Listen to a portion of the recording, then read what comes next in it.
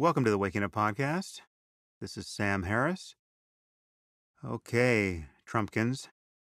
Today I am speaking to Scott Adams. Scott was the most requested defender of our commander in chief. He um, quite happily was willing to come on the podcast, and we had a very civil and enjoyable conversation. If anyone was triggered, it was me. I was Scott certainly sounded like the the meditator. I am perpetually triggered by our president, but I really enjoyed it, and yeah, I'll let you be the judge of whether Scott answered all the questions I I put to him. I think there were moments where he might have hypnotized me, and I just moved on to um, other topics. But uh, anyway, thank you, Scott, for coming on. It was a worthy experiment to try to talk about all this. Scott, if you don't know him, though many of you surely do, is the creator of Dilbert, one of the most popular comic strips of all time. And he's done this full time since 1995. Before that, he worked for 16 years at various companies from which he has mined all this material for Dilbert.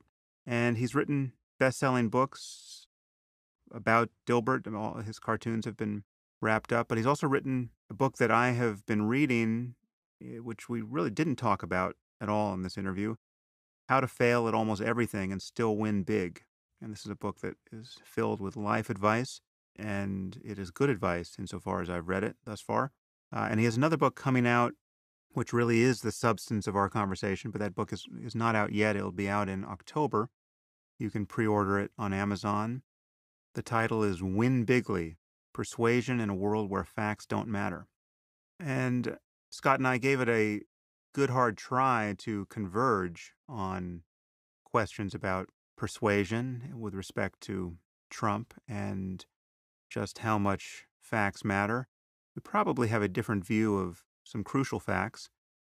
I think we care about things, or at least weight our preferences a little differently here. It's, hard for me to explain, honestly, how we still see the situation as differently as we appear to. But this really was an attempt on my part to see the world through the eyes of someone who is a Trump supporter, at least to the degree that, that Scott is.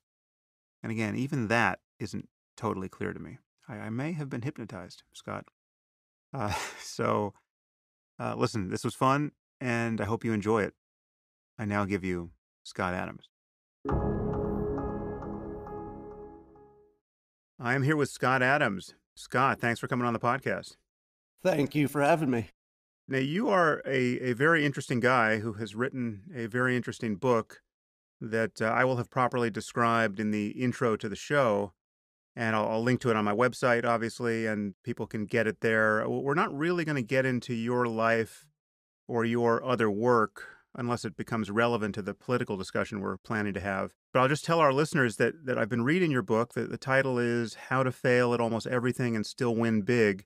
And it's very interesting. It's very uh, it's very useful and, and surprising. And our conversation will not do it justice at all today. Uh, but I encourage people to get the book because you, you give a lot of good advice about how to get what you want out of life. I haven't finished it yet, but it's thus far it's advice that I agree with. I just I just want to heap some praise on you before we move on to other topics. Thank you. Let, let me just uh, put some context on that. The book you're talking about is essentially how to program yourself to be more successful in whatever way you want. But the new one that's already available for pre order is about how to persuade other people. It's called Win Bigly, and it'll be out in October. Oh, cool. So now that is a book I'm sure we will be getting some preview of in this conversation because that obviously relates to what we're going to be talking about. And I'll, I'll, put a link to that as well on my blog. Okay, so let, let me just set up this conversation so that everyone understands the context. As our listeners will be quite aware, I've been attacking Trump uh, really since before the election. So it's, it's safe to say I'm not a fan. I'm sure I'll have some more impertinent things to say about El Presidente over the course of this next hour but I've encountered a fair amount of criticism from people in my audience who like Trump, or at the very least feel that he was the best choice we had for president in 2016. And many of these people have been complaining that I've created an echo chamber here on the podcast because I've, I've only been talking to Trump's detractors. And I, I, certainly can see how they might think that. I, you know, although I've pointed out that the people I've been speaking with who criticize Trump have been Republicans for the most part. So the idea that these conversations have been an expression of political partisanship doesn't make any sense. There's, there's really zero partisanship coming from someone like David Frum or, or Anne Applebaum uh, or me for that matter on this topic. Because, you know, for instance, none of what I've said about Trump would apply to Mitt Romney. And I've also never been shy about pointing out all the terrible things about Hillary Clinton. So if, if it's been an echo chamber, it hasn't been a, a left wing one. But in the meantime, I've been asking Trump supporters for months who I should bring on the podcast to represent the other side of the story and to help me recover from this much diagnosed Trump derangement syndrome, which many people say I have. Uh, and I, I, I appear to have a whopping case of it. And you are the person who has been most often recommended to me. So I just would congratulate you on that score. Well, thank you. There's a lot of pressure on me, but okay. So I, want to say uh, one other thing at the outset just to set the table here, because I've been seeing a, a few crazy comments online from uh, obviously Trump supporters uh, anticipating this podcast and wondering whether or not I would be fair to you. And um, so I just want to tell you how I view conversations like this and, and also tell our listeners. And I'm, I'm telling you now something that I, that I tell most of our guests. I don't think I've ever left it in an interview. And I, this is certainly something I, I tell any guest with whom I'm likely to disagree. I don't do gotcha interviews. My goal is never to get you to say something that makes you look bad. In fact, if at any point in this conversation you put your foot in your mouth or I put my foot in there, you should feel free to take it out and we'll cut that part out. And, and this, this could apply to a whole section of the conversation. So if we get onto a topic for five minutes and then you say at the end, you know, you know what, that whole bit we just did on racism or whatever, I'm worried about how that's going to make me look. Well, then we will just cut it. So, you know, we can edit as we go if need be. Because my goal is always, and again, this doesn't just apply to you, this applies to anyone who comes on this podcast. My goal is always to be dealing with the best version of the other person's case. I, want you to be happy with what you've said on the podcast. So this is the opposite of a gotcha interview. And I don't think many people understand that. And, and having been on the other side of literally hundreds of interviews at this point, and as I know you have, I, th- I think we both can say that almost no one operates this way. Journalists deliberately don't because they want to reserve the right to catch you saying something embarrassing. It's a completely perverse ethic that, that seems to have been enshrined in journalism, where if you say something is off the record before you say it, well, then they will generally keep it off the record. But if you say that about something you regret saying just two seconds ago, something that didn't come out right, then they won't let you take it off the record after the fact. This has always struck me as a, a less than ethical way to deal with people and their ideas. Yeah, I agree. Um, but uh, wouldn't worry about me because, uh, like you, I've I've done a few of these.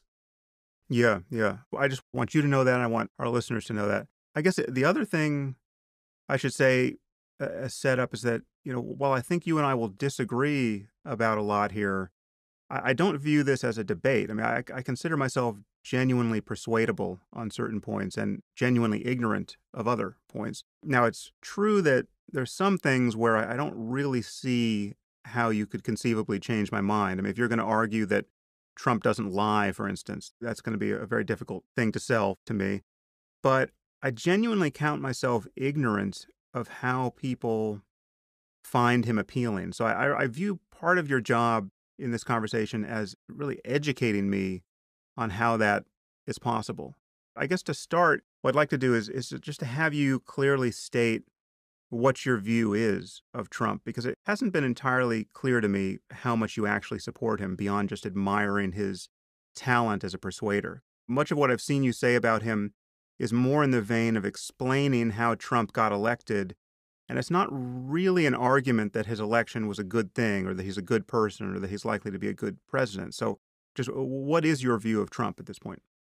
Well, I should tell your listeners, first of all, that I have a background as a trained hypnotist, and I've been studying the field of persuasion all of my adult life as part of my job. It's part of what a writer does, part of what a cartoonist needs So when I saw uh, Trump enter the race, I noticed fairly quickly he had the strongest set of persuasion skills I've ever seen. He has what I call a, a skill stack, a complementary set of skills that if you looked at any one of those skills, you'd say, well, that's good. That's better than most people, but that's not any world class particular special skill. But when you put them together, they're insanely effective, you know, as we can see, because he's president. Uh, he made it, you know, against all odds. And my view on the, the politics of it is that my political preferences didn't align with either side in the election. Uh, I consider myself an ultra liberal on social stuff, meaning that even liberals don't recognize me because I'm more liberal than liberals. I could give you some examples of that to, to fill that in if you want. Uh, and then on the big stuff, you know, the international stuff, the how do, how do you beat ISIS and what's the best thing to do in North Korea? Uh, my view is that none of us really know the answer to that because we don't have the information that government would have, uh, and we don't have the, the full context that they have. So generally, I don't have a firm position on the big international stuff and on the smaller uh, local stuff, the domestic stuff. Uh, I'm in favor of people doing whatever they want to do as long as it doesn't affect me. So I, again, I, I, sh- I should say that I, I haven't seen everything or read everything you've said on, on this topic. I've read some of your blog posts and I've seen some of your Periscope videos, which you've been doing quite regularly about Trump. But it seems to me that you you are sort of having it both ways here because you you seem to delight in his ability to get away with doing at least questionable things. I mean, I would say bad things, but I mean certainly dishonest things because you admire his talent as a persuader. But to my eye, very quickly begins to seem like a defense of the bad things he's doing, or at least a denial that they are bad, or, or a denial that he's doing any harm to our civil discourse and to our politics by lying to the degree that he does. So, where, where does your appreciation of the artistry grade into actually thinking he is good and liable to do good things? The way I like to frame it is that I'm helping people see him clearly without the filter that the opposition is putting on him. Because he has a, a set of skills and a, a talent that we've never seen before, meaning that nothing like this has ever you know, been in the political uh, realm that we've seen. So what he can do is probably different from what a regular politician can do, both on the upside and the downside, I would think. So I'm not you know, I'm not uh, discounting that there's greater risk with a President Trump than a some you know vanilla president. Uh, but I think his supporters have said explicitly and often, "We'll take the risk. We'll take the chaos. Um, that's the price of change." So uh, there's a lot of that that his supporters accept, and I see my my role in this as clarifying and if they like that choice, if that's a risk profile that they appreciate, then at least they can see it a little more clearly.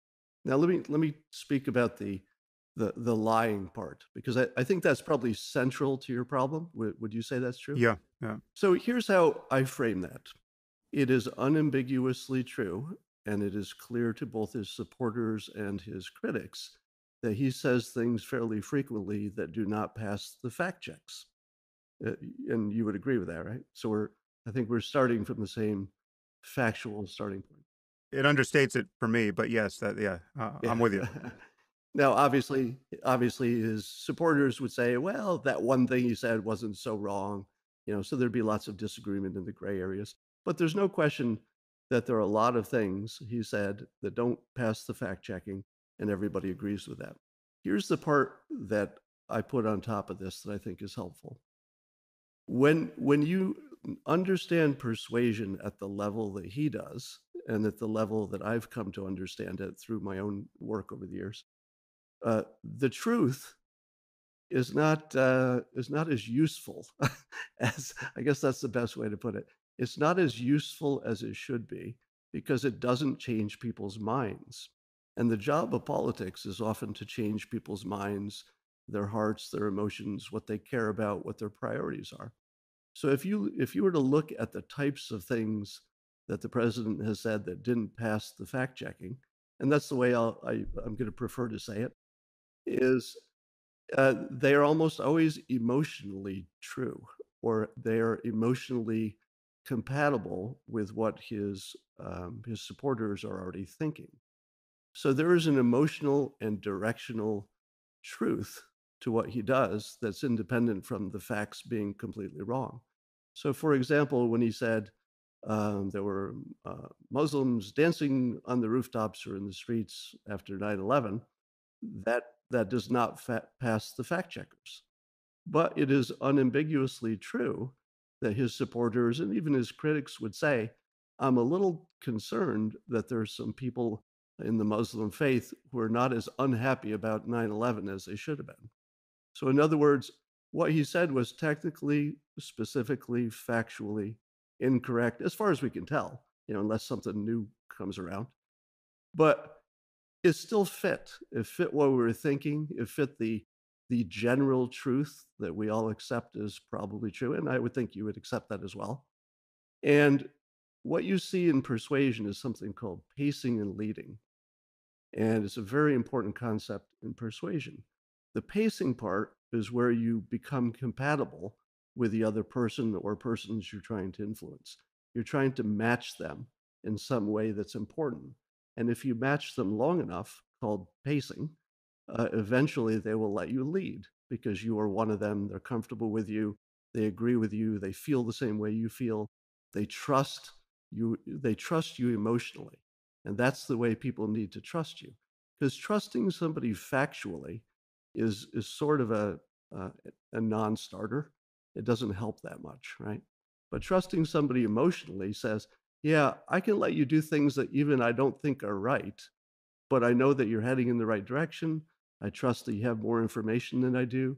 I trust that if you have to pivot because it doesn't work out, you'll do that because you and I are emotionally on the same page we want generally the same thing.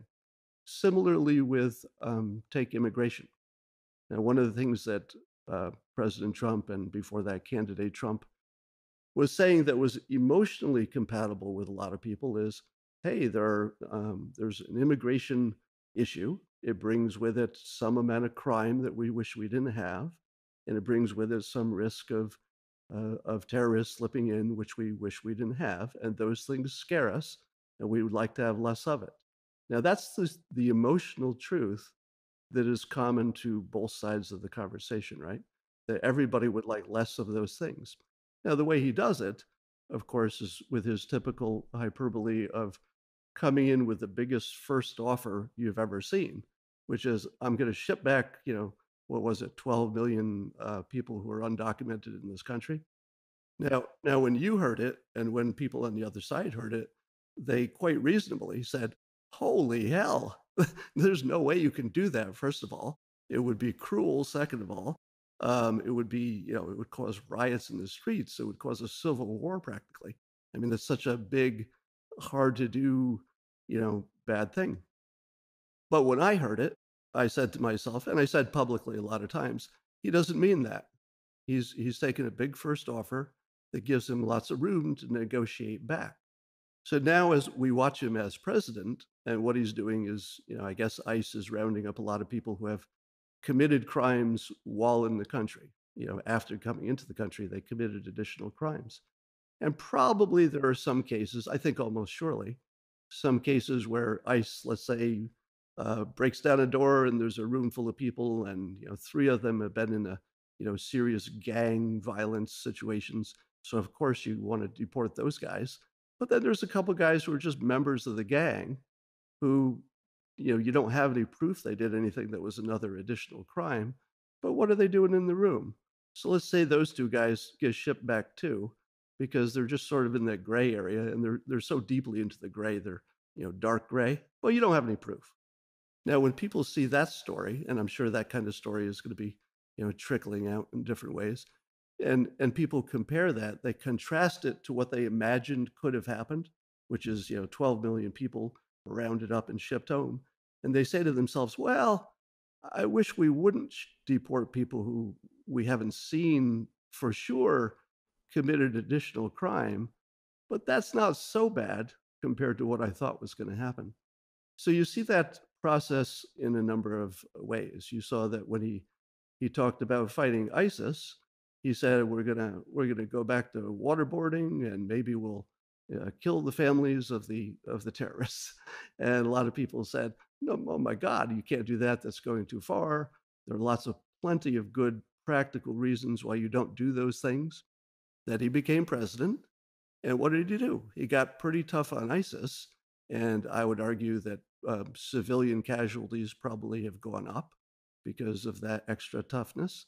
But we're not, you know, we're not um, we're not seeing the big outcry because he's been successful apparently against ISIS on the battlefield. So we see this pattern which he has broadcasted for decades. He actually wrote a book on it, The Art of the Deal, in which he talks explicitly about using hyperbole, you know, in other words, things that don't pass the fact checking, and making big first offers to give him lots of room to negotiate toward the middle.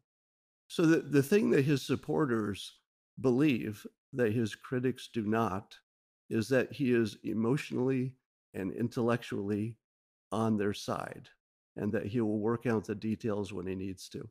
So that's what his supporters believe.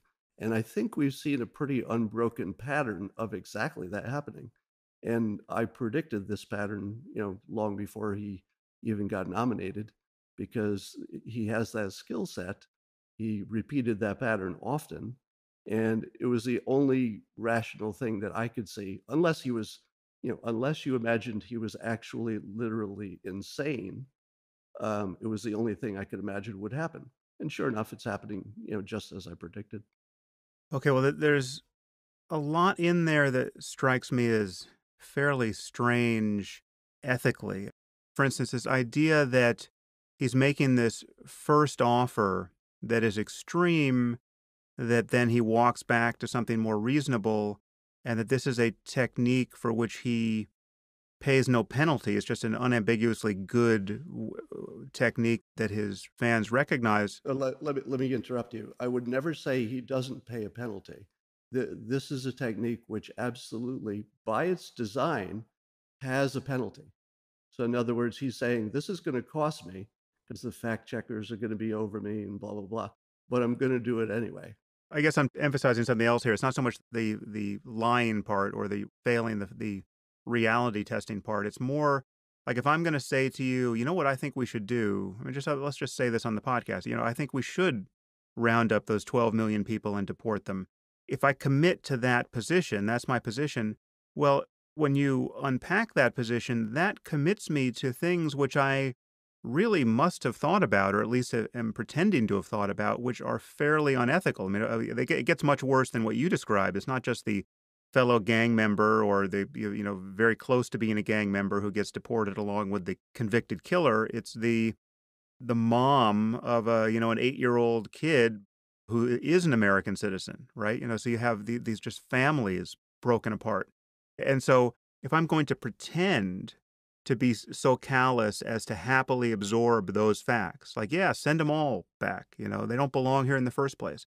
Or if I'm going to take the ISIS case, I'm going to say, yeah, we'll, we'll torture their kids. We'll kill their kids. Doesn't matter. Whatever works, right?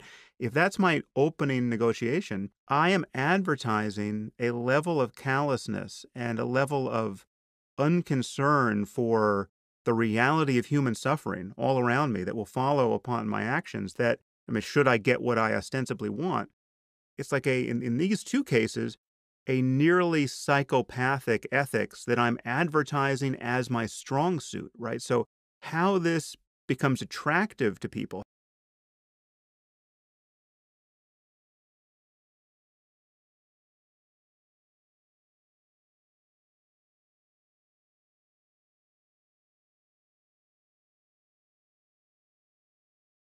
its face. I mean, you don't have to think deeply about this, right? These are these are the things that get pointed out in 30 seconds when he whenever he opens his mouth uh, on a topic like this. I don't understand how that works for him with anyone. Let, let me uh, let me give you a little thought experiment here. Uh, we've got people who are on the far right. We've got people on the left. In your perfect world, would it be better to move the people who are on the far right toward the middle, or the people on the far left toward the middle? Which which would be a preferred world for you? Well, I don't know. Now, now things have gotten so crazy on the left that that that is actually a genuinely hard question to answer.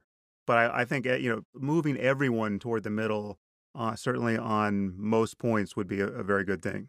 So, um, what you've observed with President Trump through his pacing and emotional compatibility with his base is that prior to to uh, inauguration day, there were a lot of people in this country who were saying, "Yeah, yeah, round them all up, send all 12 million back tomorrow."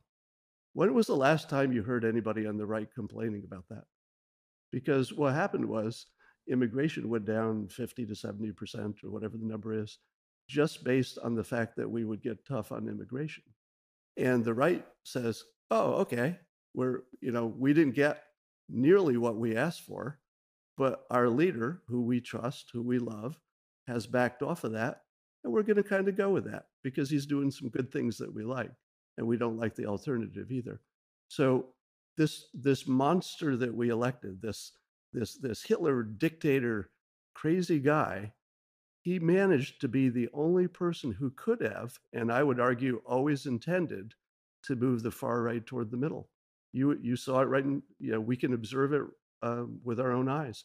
We don't see the right saying, no, no, I, I hate President Trump. He's got to round up those undocumented people, like you said early in the campaign, or else I, I'm bailing on him. None of that happened. He paced them and then he leaded, he led them toward a reasonable uh, situation, which I would say we're in. Well, I, I don't know that I would notice if they were complaining about it. I, I got to think I'm in kind of an echo chamber, but you you might notice it more than I would. I promise you, I would notice it because I'm totally, you know, I've got one foot in both sides, and and the number of people who are talking about that, even just talking about rounding up everybody and sending them back, just stopped. It's completely done. And by the way, that that's a big deal. I mean, he he brought a lot of people to his position. Again, whether that was his intent or in fact the effect of his actions, I don't know. I mean, there's so much other chaos for people to be complaining about and, and worrying about. But I, I, I take a related point here, which which you could be making, which is that there is something else going on. There is there is the fact that people will follow him onto terrain that is quite different from the terrain they claim to want to occupy. And so they, they will they will kind of run roughshod over their own stated principles. And I'm noticing this with with you know establishment Republicans who once they grabbed his coattails, it seems like that they will are willing to follow him anywhere, even into something that looks like almost treasonous level of fandom of of Vladimir Putin. And so we'll, I'm sure we'll talk about that. But I, I want to before we continue down this line, I want you to describe this analogy that you've made, which I think is very useful. You have this two different movies analogy, and I, just want to put that in play for listeners because I, I think it's it's a good framing. Yeah, there are two concepts that people need to understand to have any idea what has happened in the past two years. One is confirmation bias. I'm sure you've talked about this a number of times on your podcasts and your books, which is the tendency for humans to see all evidence as supporting their side, even if it doesn't. All right, we're we're we're all in confirmation bias pretty much all the time. Nobody's immune from it. Nobody's smart enough to see past it. It's just the human condition. The other part that people have to understand is this thing called cognitive dissonance, which I'm sure you've also talked about. And that's the, the idea that if um, if our mind is set toward a, a specific reality, especially if it involves ourselves, you know, some self image, and then we find ourselves doing something or learning something that violates what we're sure had to be true, we just reinterpret what we saw and, and spontaneously create essentially an illusion, uh, an imaginary world that explains all the things that wouldn't have been explained without that uh, hallucination. So, what happened was um, on November 8th, 2016, there were a handful of people, including me, who saw things going just the way they imagined they would go. Now, that creates no trigger for cognitive dissonance because everything was consistent. I thought I was pretty smart. I thought I could predict what was going to happen. I did predict what was going to happen. But for a lot of the country, they, they thought this was an impossible outcome. They'd been in their echo chambers and they saw there was just no way this could happen. The, the, there are people who have never even met a Trump supporter, much less imagined he could be, be elected. They looked at the polls, they saw it was 90, 98% likely that Hillary Clinton would win. And then the results didn't go that way. That's a perfect trigger for cognitive dissonance. And I described that uh, election as a cognitive dissonance cluster bomb. And what it did was it split the uh, the United States and to some extent the rest of the world into what I call two movies that are running simultaneously on one screen. So if you imagine we're all in the audience, but half of the audience is looking at the same screen that, that you and I are, and half of them are seeing one movie, and the other half are watching an entirely different movie. In one of the movies, uh, we had just elected Hitler or something like it, and people were taking to the streets to say, "Oh my God, you know, the the world is going to be on fire." And another half of the country were saying, "Hey, we got a guy who's probably going to be pretty good on jobs, and you know, maybe he'll tighten up the borders and you know, do some um, business-like systems in government that we like." And that's all they saw. And the other side saw something completely different, an entirely different movie. Now, I had predicted uh, prior to the inauguration that because of that setup, which I could see coming from a mile away, that we would experience um, the following arc. We would, there, first of all, there would be huge protests because people thought that some Hitler character had been elected. But after a few months of President Trump acting like a normal president who is using the normal mechanisms of power and uh, is getting some stuff done and moderating his positions as presidents do, that the Hitler illusion would start to dissipate and that it would eventually give way by summer. That was my prediction. And it has largely. You know, the, the Hitler stuff is largely dissipated for lack of confirming evidence. And it was replaced with, well, he's not Hitler, but he's definitely incompetent. He's so incompetent. There's chaos in the White House. They can't get anything done. And I predicted that by the end of the summer, he would in fact get things done.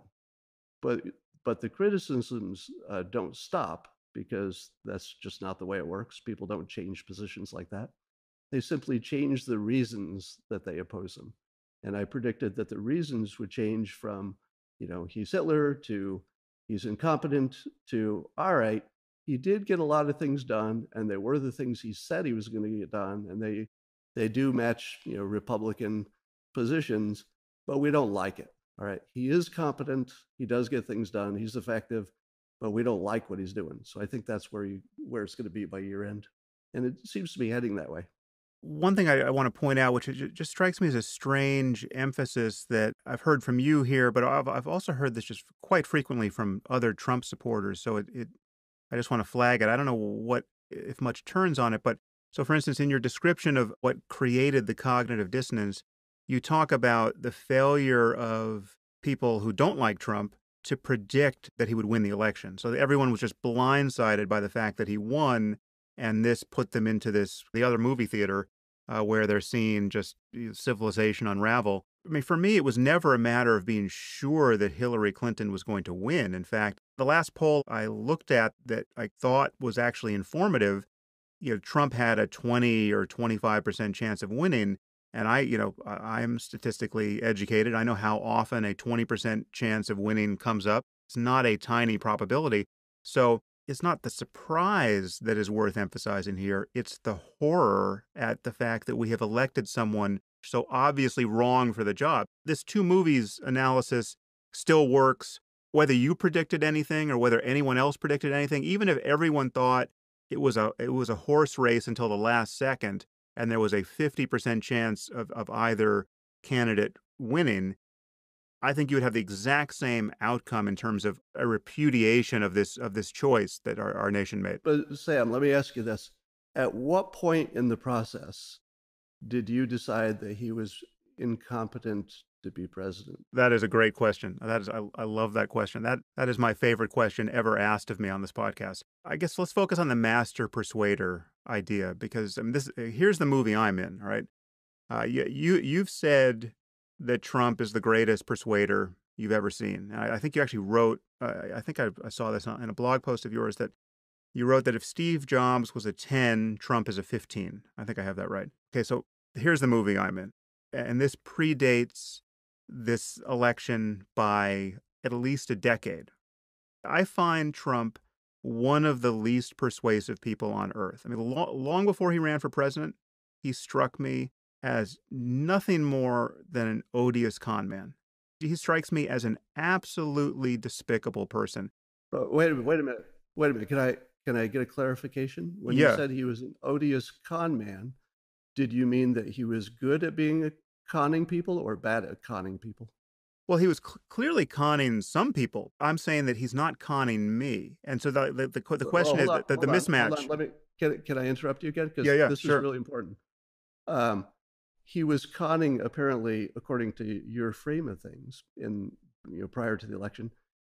It seems probably to you that he was conning enough people to do the things he needed to do, which was you know build buildings and keep his fortune high and become a reality TV star and, and all that stuff. Yeah, but but that was it. He was a reality TV star who I mean, I I I viewed him actually. I viewed him. I mean, I didn't spend a lot of time thinking about him, but I, I assumed that most people were in on the joke, right? That he was a kind of punchline. It, was like a, a punchline lived over the course of a profitable life. But he was. This was not somebody who was, as he was billing himself to be, a truly great businessman or anything else. Yeah, Sam, there's an important point here that I, I don't want to lose by going Sure. too far past it. Uh, your your understanding of him at the time was that he could con some people, and apparently it was enough of the right people he was conning, to use your word, to effectively do the things he was trying to do. Would that would that accurately state your opinion? Well, yeah, but the things he was trying to do bore no relationship to becoming president or becoming somebody who's Well, actually right, right. shouldering significant responsibility. No, I agree with that, but we're just talking about the tools of persuasion. And and what you just said, if if I heard it right, is that even early on you realize he had the tools of persuasion, which you would characterize as a con man. Uh, just a different word for essentially the same set of tools. It has more to do with the intention, I guess. But the crucial difference here, again, I'm, I'm just trying to describe what it's like to watch my movie as opposed to your movie or the movie watched by half the country. I, I can see that he must be persuading somebody. I mean, he fully persuaded half the country to become president. But there is never a moment where I find him persuasive. When I look at him, I see a man.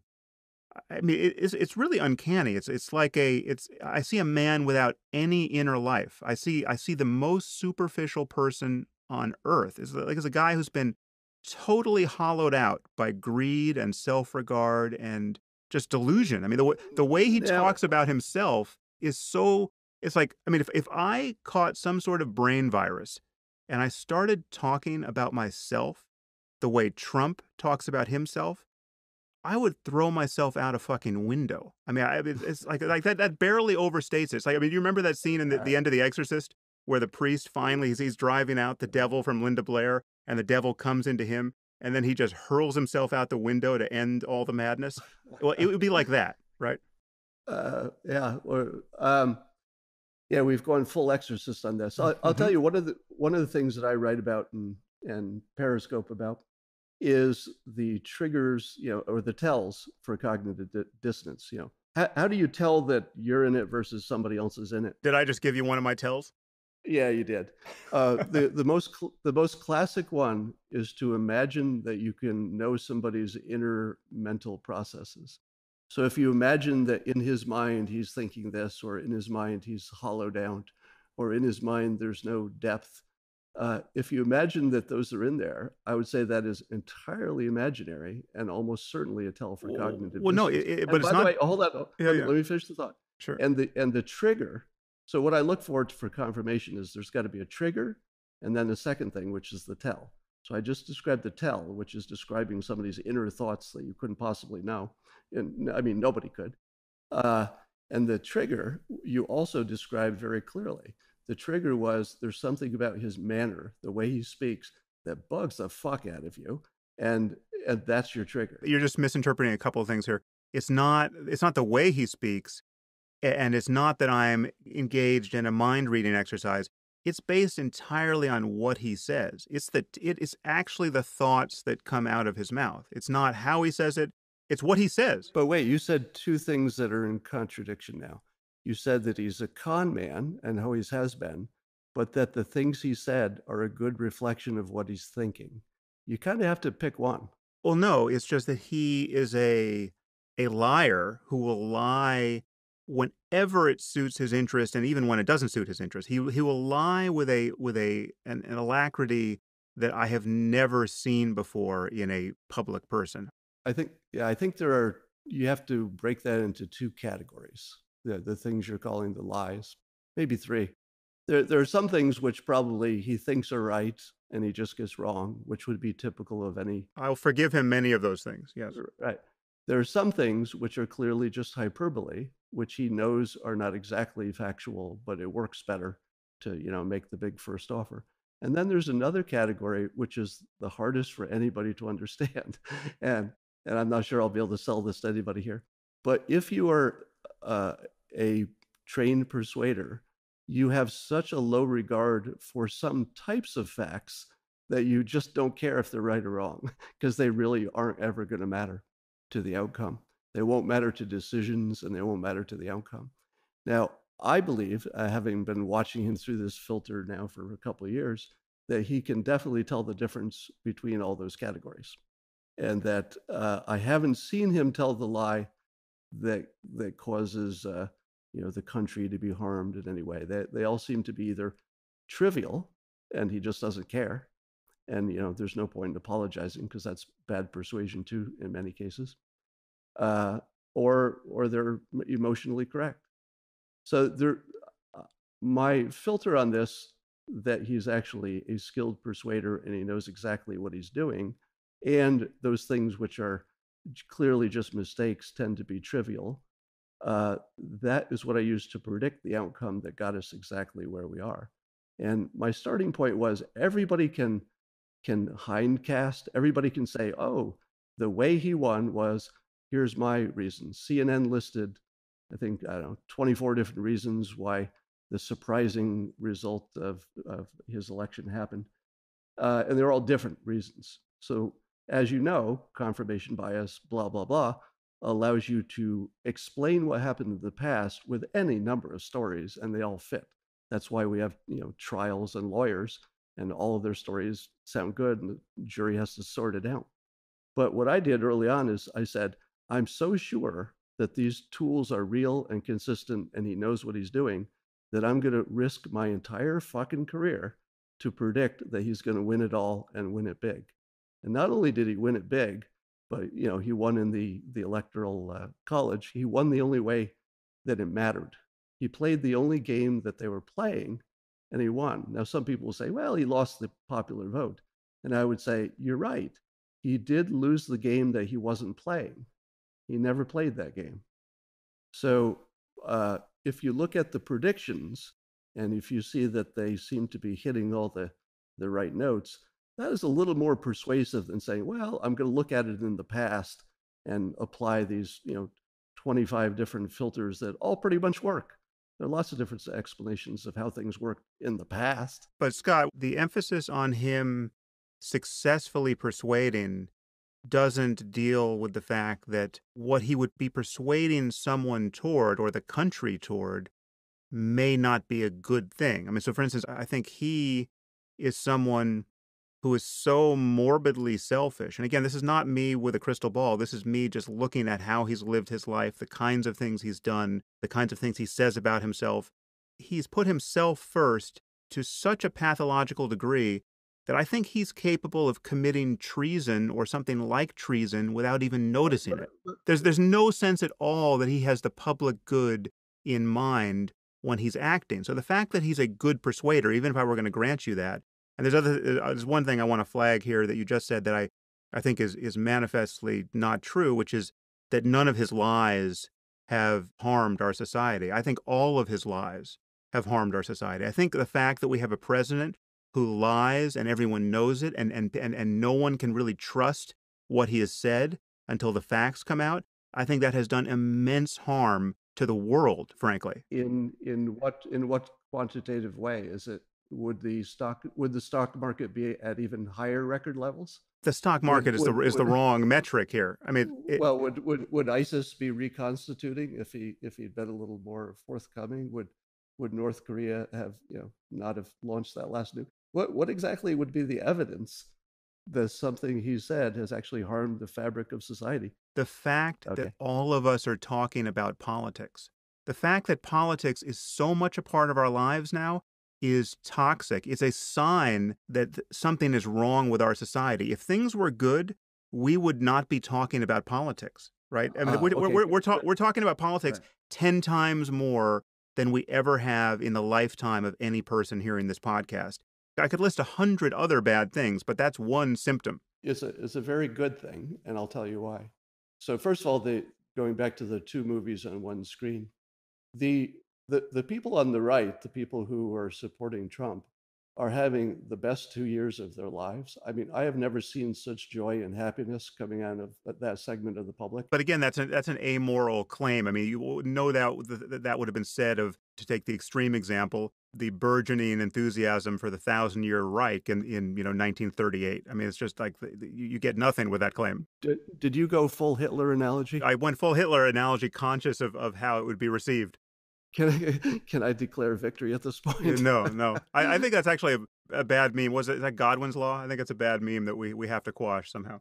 I, I, I've actually been writing, uh, I write this in my new book, that when somebody retreats to analogy, whether it's a Hitler analogy or not, it's because they've run out of reasons. Like no, nobody uses an analogy if they have a reason, because a reason is oh, is way better than an analogy. No, no, no. Well, okay. Well, that, that that's interesting. I, I think I disagree with that too. But well, let's move on. Analogies are tools of communication. If you're not getting what I'm saying, but I know you'll get this other test case that I think is actually isomorphic with with what I'm talking about, well, then I go to the analogy. It's only bad if it's a bad analogy, but nothing nothing hinges on this. No, because all analogies are approximations by design.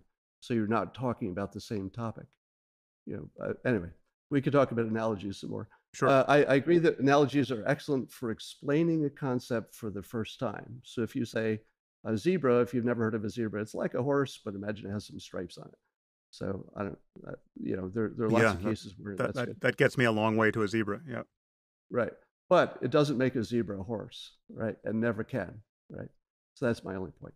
So back to the uh, whether it's bad that we're all talking about politics. I've actually been streaming and talking and blogging about this very point that we have collectively as a society learned more about each other, the nature of you know truth, reality, persuasion in particular. You'll see lots of people talking now about cognitive dissonance, confirmation bias, persuasion.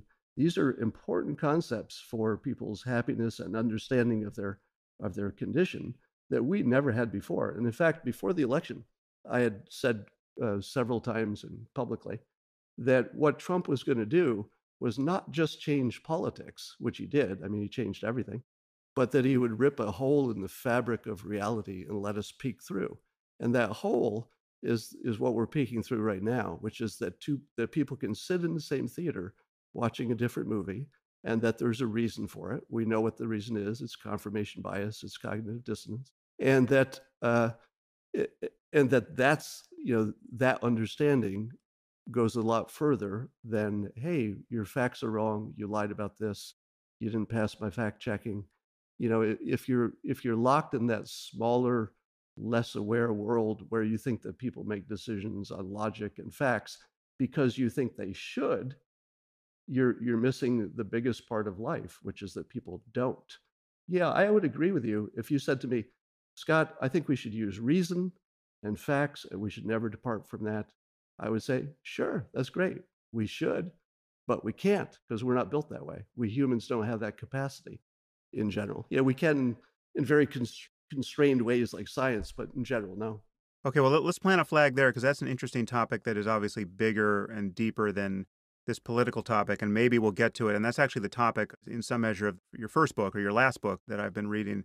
Um, and if we have time, I'd love to touch that. But I just want to come back. I mean, again, I, I'm I, I have this creeping feeling of confusion or bewilderment that I, I want you to sort out for me, and it comes down to this two movie analogy because I don't see how they are actually different movies. I get that in the other theater, the fans of Trump don't care about certain things that are appearing on the screen. And I care very strongly about those things, but I don't get how they're actually not seeing these things or they're, they're seeing them differently. And I'll, i want to take you back just to what you said before when, when I went full exorcist on you. Well, can I, can I, can I interrupt? Because I think sure. there have been some news reports recently that said that Trump, Trump supporters know exactly you know, what's true and what isn't.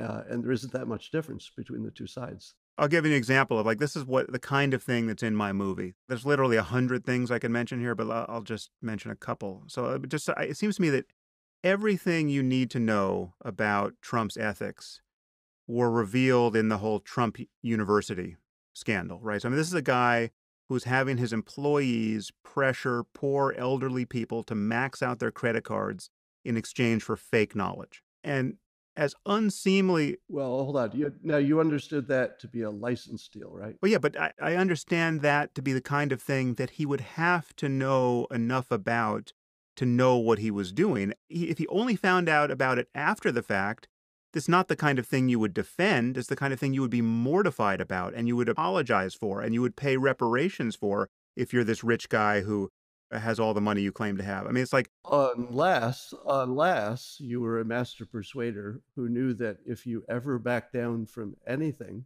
people would expect you to back down in the future from other things. But what you're describing is a totally unethical person, right? I mean, this is the problem for me. So uh, let me just give you a little more, a couple more points here. But I would say to you that there are false equivalencies around this kind of thing. So that I mean, people will say that all politicians are liars or all politicians have something weird in their backstory, but there are very few politicians walking around with something that ugly in their backstory that they haven't repaired. And let me let me just clarify though. When I said it was a license deal as opposed to a a business that he was actively running, um, in the Dilbert world, I do a lot of license deals, uh, and have in the past.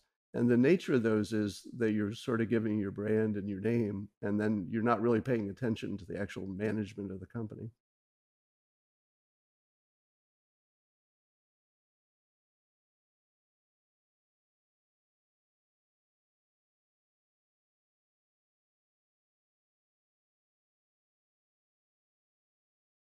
For 100% of Trump supporters, if that was the case. Now, if it was a typical license deal, where you don't really know exactly what people are doing and you're not paying attention because you got, uh, in his, his case, I think 400 companies with his name on them. Well, yeah, his whole life is a license deal for the most part. Even his real estate empire is a license deal. Yeah. So if it were the case that he was treating it like every other license deal, there's a, a high likelihood, f- far more likely than not, that he didn't know about the details until it was too late.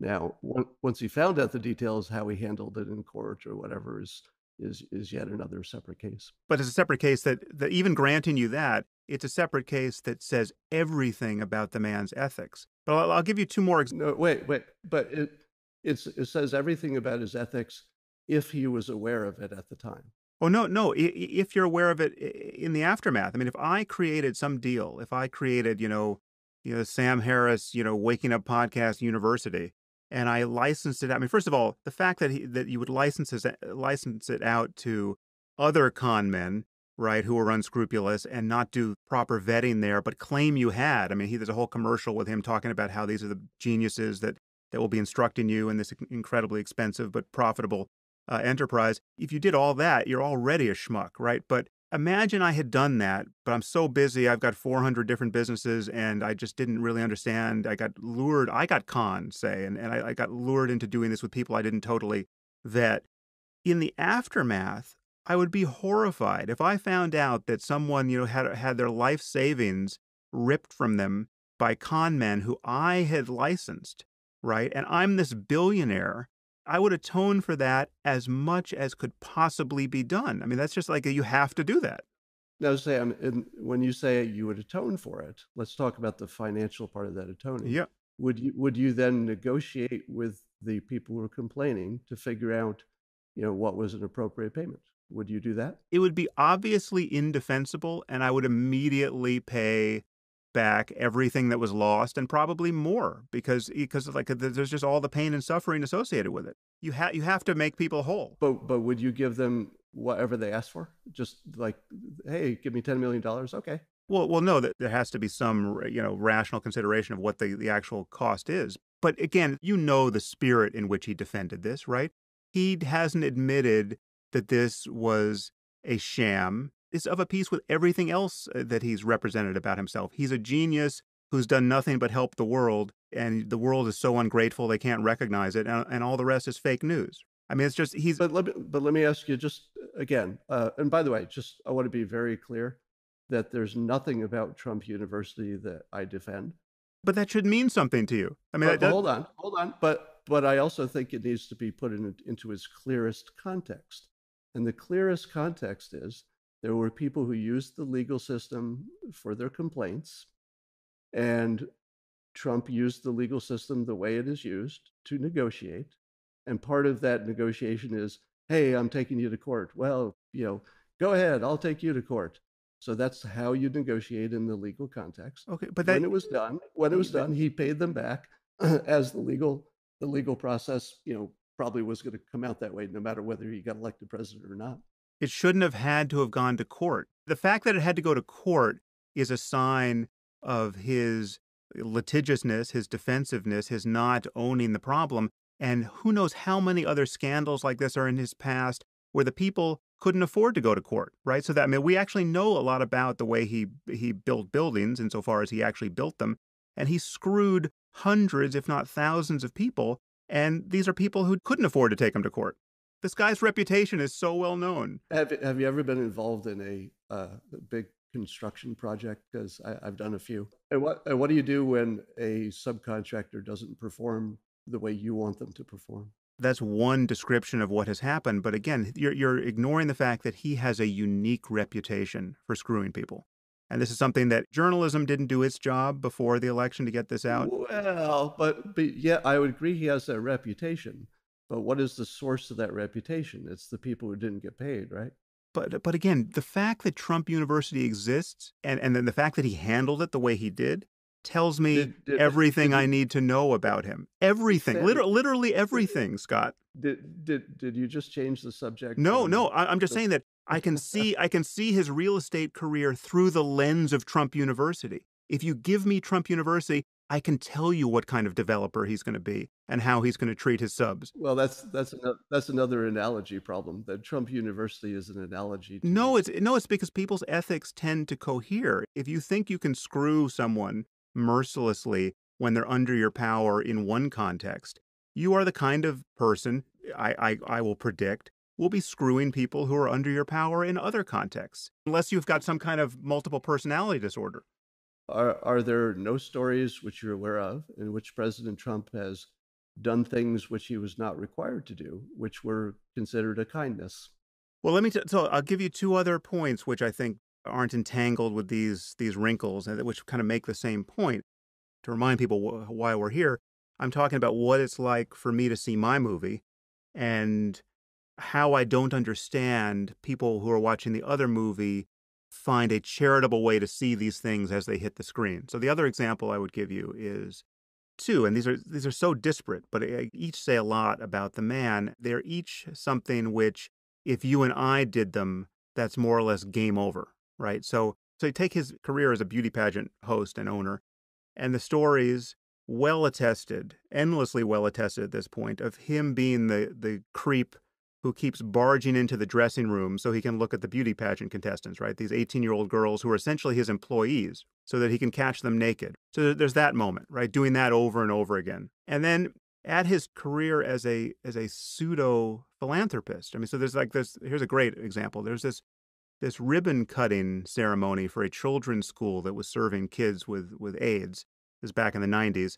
And he, pretending to be one of the big donors, and just to get a photo op with the mayor of New York, and I think the former mayor of New York, and, and the real donors to this charity, he jumps on stage, pretending that he belongs there at the ribbon cutting. He never gave a dime to this charity. No one knew he was coming. He literally crashed the party to pretend that he was this big time philanthropist. Now, you might say, well, this is brilliant PR, right? it's completely immoral PR. It tell like like if if I had done this, right?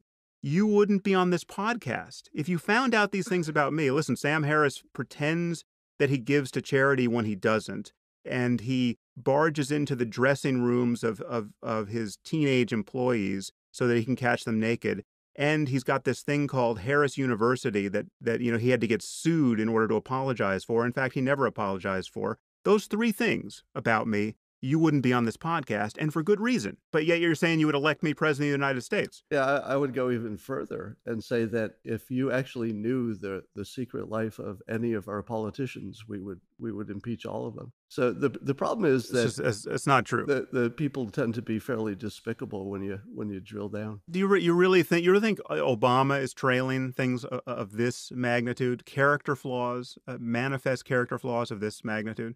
Uh, well, I won't name names, but uh, I would say that it would be more common than not common for the for uh, you know especially the males to have like sketchy sketchy behavior with the opposite sex. Not this level of sketchy behavior. I mean, this is again. I'm not. I'm not going to go to the Billy Bush groping tape, which I think is keep, keep appropriate to. He, yeah, keep in mind that President Trump's uh, past is far more public than other people's. So you're going to see the, you know, the warts as well as the good stuff. Um, but but let me let me uh, stop acting like I'm disagreeing with uh, the general claim you're making that he has done things that you and I might not do in the same situation and would disapprove of. I'm going to say that that is common and, and would be shared by Trump supporters as well. But then you seem to give it no ethical weight. Here's the proposition he came in and he said in these very words, uh, I'm no angel, uh, but I'm going to do these things for you. Now, he created a situation where, for his self interest, if you imagine he's the most selfish, narcissistic, egotistical human who ever lived, he only cares about himself. He put himself in a position where there was exactly one way for any of those things to go right for him, which is to do a really, really freaking good job. And to imagine that he wants to do anything but the best job for the country now, now that he's in the position, and it's you know, probably also when he was running, is uh, is beyond ludicrous. And I would say, okay, stop there because there's I, I will I will grant you that he cares about his reputation to some degree, and his reputation would be enhanced if at the end of four years or at the end of eight years, more likely, he was described as the greatest president we ever had. I mean, I think he would like that. If you could give him a uh, you know a magic wand and he could wave it in any direction, he would want to leave being spoken of as the next Lincoln or the next Jefferson. And so great. So granted that in, in, in that sense, his interests and the country's interests would be aligned. But there are two problems with with that idea. One is there are many ways in which his interests, his personal selfish interests, and that of his family are not aligned with those of the country. And there's real harm to our institutional norms on that basis. I mean, so we have this family functioning like the, the ruling family in a banana republic now. I mean, they're they're enriching themselves at every turn. There's endless reports of you know the State Department and the Secret Service paying tens of thousands of dollars to stay in Trump hotels. You've got Ivanka hawking her gold bracelet that she was wearing on the first 60 Minutes interview, you know, 48 hours after the election. You got the incessant pumping of Trump branded properties with taxpayer dollars. I mean, there's just, there's no end to this, right? And they're doing deals in dozens of countries. And they, so there's no, there are conflicts of interest that they won't even acknowledge. Well, we'll get to Russia. There's this Russia thing, which is clearly not in the interest of the U.S. and may very well be in Trump's interest to, uh, I would say, court a again, I mean, I, I, think the word treason. I'm not using the word treason in in a, the technical sense. Like I think he'll be convicted of treason, but there's a treasonous level of disregard for the interests of our country in how he has been dealing with Russia thus far and the Russia scandal. Or or he's just being persuasive and and practical. Both of those filters fit. There's nothing persuasive about being the first president who will openly without any I mean without any caveat just praise and align himself with a dictator of Putin's quality who has just maliciously targeted our country in a way that is totally unambiguous. First of all, uh, I'm sure that we target other countries so that you know the context is we're probably all doing it to everybody else again this is a move into a kind of amoral equivalence which doesn't make any sense to me because of course we seek to influence other countries but we do it because we actually have our values right i mean like we, we think our values are good if we're trying to influence an election in iran say the reason why we think that is legitimate is because we are the good guys there. Now, uh, and, and I mean that in a fairly deep sense, right? I mean, we are fighting for democratic values and tolerance of minorities, and you know. Eh I agree. I agree. I agree. I agree with all that. I'm just saying that in the in the real world, in the real world, if a country pokes you, you poke them back the same way. That's just going to happen. Okay, but we have a we have a president now who says nothing but good things about a dictator who we know jails and kills his political opponents and jails and kills journalists. Let me let me let me let me refer you to there were some CIA analysts recently who said uh, retired ones, I guess, who said that they were worried that Trump could be easily manipulated by his ego through flattery, and that foreign leaders are looking at his tweets and his personality and say, hey, we can totally persuade this guy to do what we want by using this flattery thing. Now we're watching President Trump flatter the not only the North Korean dictator by by calling him a smart cookie for staying in power, but also Putin and also the Chinese leadership. You've seen him uh, flatter the three leaders that we most want to persuade. But I've seen him play both sides. I mean, in one tweet, he'll bash the Chinese leadership, and he was bashing the Chinese leadership throughout the campaign, and he'll bash Kim Jong Un in another tweet. He's both sides of it. He's, it's not it's not one thing or the other. It's the chaos of his own personality and his problems with impulse control made manifest. Is it has he bashed them since he was president? Because there are things he did on the campaign trail. Which which, which case are you talking about? Well, just tweets about how obviously we can't count on China anymore and warning Kim Jong un that there's going to be a massive penalty to be paid for. Okay, those let, let me explain both of those things. Warning Kim Jong un that there's going to be a massive penalty is not saying something about the individual. All right, it's just saying the, the same thing that any president would say in that situation. The situation with China, which I wrote about extensively, is that the the smartest persuasion that he could do in that situation is to set China up as the adult in their neighborhood who, for some reason, can't control their own backyard. So that's that's the setup he gave them. He said, "You guys are great. You know, why don't you take care of this North Korea stuff? We'll we'll take a step back. You know, get this done." Then, when it didn't get done, he didn't say, "You guys are assholes," because that would have been a big mistake. He said, "Well, we tried. You know, China's great. They didn't get it done. Uh, you know, maybe next time." That is exactly the right persuasion and exactly how I would have played it, because that gave him a free pass to do something that China doesn't want him to do if he needs to do that, because he said publicly, "We trust you guys. We, you guys can take care of this." And then he waited, and in fact, they increased. Uh, apparently, they increased trade with North Korea, and so he, he pointed it out factually, correctly, and said, "Well, I guess that didn't work." and that gives him a moral free pass because he just he just gave them the the opportunity to fix it themselves first. Well, I'm not claiming that was the wrong communication at that point. It's just that it all has the character of a haphazard ejaculation of whatever he's thinking or or the product of the last conversation he had. So when he met with the China's leader, he he said after 10 minutes he was convinced that, you know, the trade thing is not what he thought it was, right? Meanwhile, he had campaigned on the trade thing being one way for months. And so there's there's something about the fact that he pretends to have it all worked out until the next moment where he has to reverse course completely without ever acknowledging that he's reversed course, without ever giving an, an intelligent account of, of why it happened. And and you're attributing this to some kind of real method to his madness, but in most cases, it just looks like madness, or it just looks like a just a lack of understanding of what he was going to have to think anyway. Yeah, I, I, think there are probably several things going on. One of them is a learning process, and the people who supported him and voted for him. Uh, I think everybody had their eyes open that you plump a non-politician into this job, whether it's you know Barack Obama with a little bit of experience or or Trump. Um, that the, they're going to be learning and, and evolving fairly quickly on the job. So there's some of that, you know, genuine changing of opinion. There is some the situation changes, so he he pivots, but he also says clearly and often that he uh, he likes being unpredictable and he likes setting his adversaries off balance. You know, are you my friend? Are you my enemy? Are you gonna are you gonna set a slap a tariff on me? Are we do we have a treaty?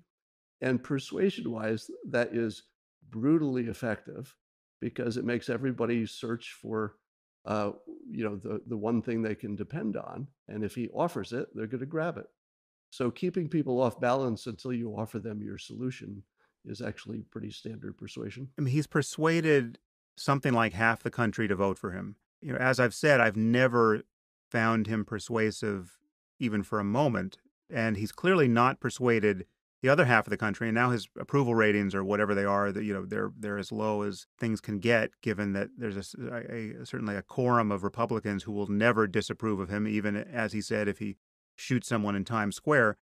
I, I get that he's president, right? He got elected, so he his persuasion or whatever it was got him that far. I think it says less about him, frankly, than about the state of the country the, the, and, and our relationship to fame and reality television and an advertisement of wealth as opposed to you know the, the reality of being wealthy um, it's the fact that he the con worked i'll grant you means something it doesn't mean something great about him it means something oh, that i perceive as as as a symptom of a problem in our relationship to politics and our relationship to facts in this case but don't you think we're uh, we are or at least maybe we want to be or should be past the point where the uh, the president is the role model for our children, and he's more like the lawyer that you that you hire because he's the best lawyer, even though he the last job he did was to represent the mob or something.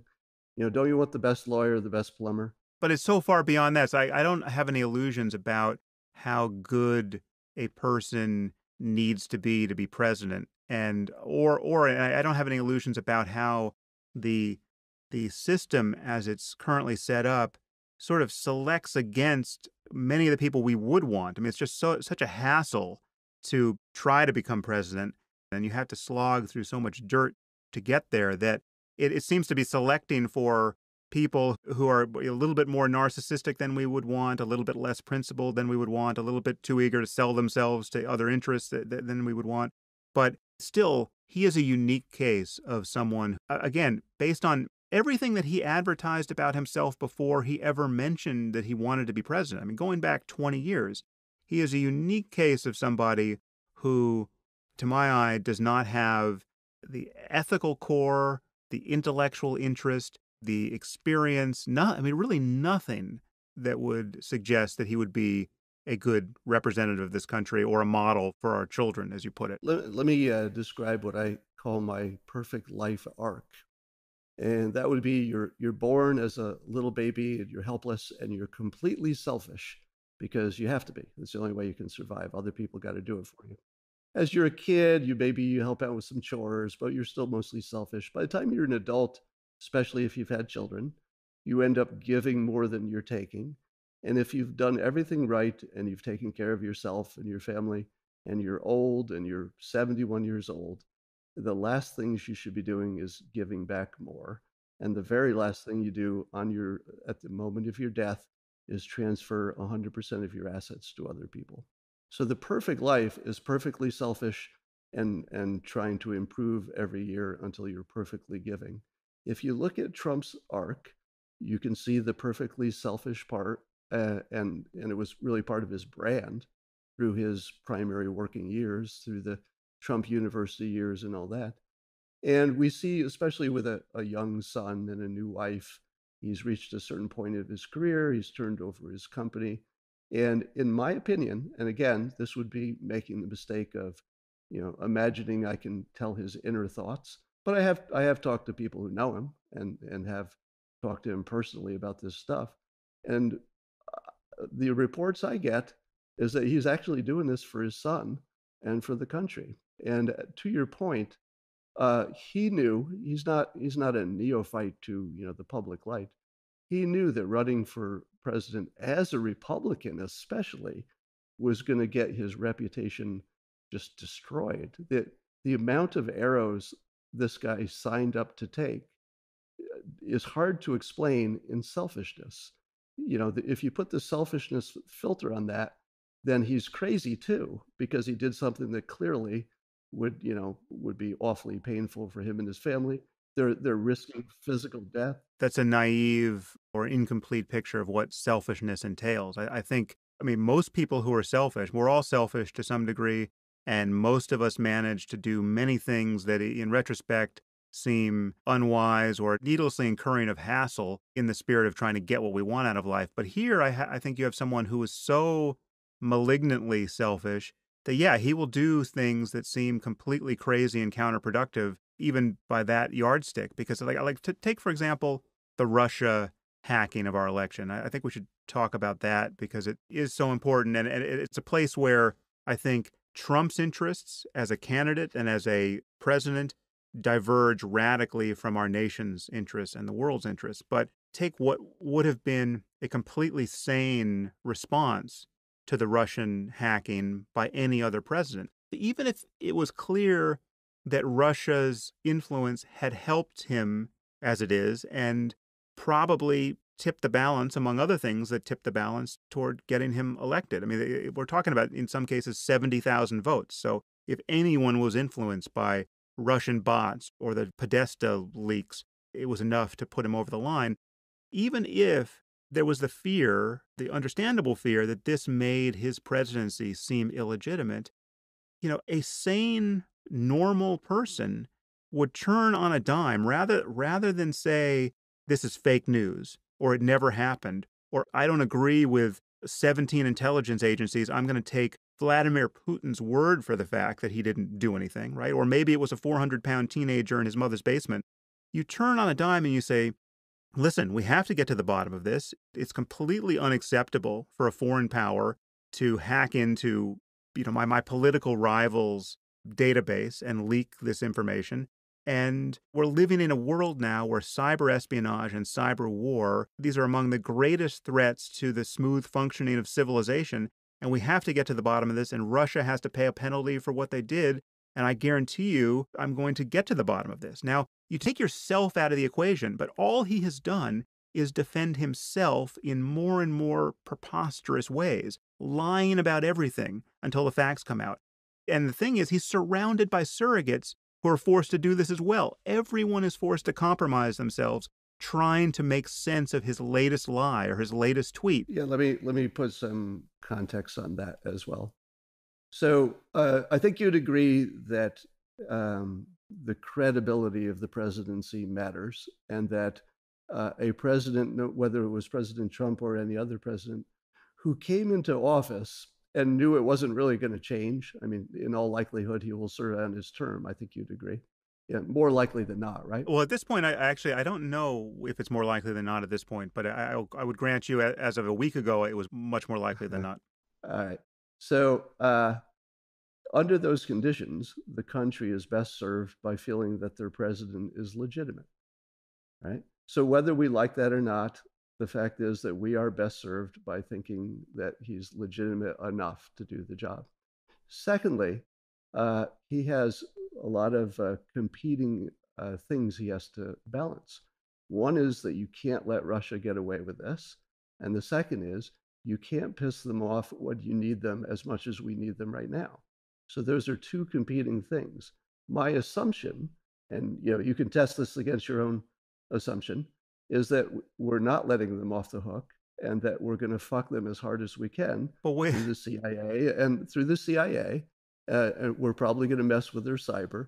We have probably the CIA that you just publicly said you don't trust to analyze the situation. Rather, you trust Putin, and then you send out a, a tweet which says we're going to form a joint cyber command with Putin to figure out how to deal with cyber. I mean, it's insane. It's not principled. It's not strategic. It's just a madman on Twitter. But let me ask you this Do you think it is likely or unlikely that our intelligence agencies are uh, planning or have already uh, responded forcefully? Well, I certainly hope that's the case, but I'll tell you what is also likely or in fact certain. But if, but if but if you don't know, why do you think he's not doing his job?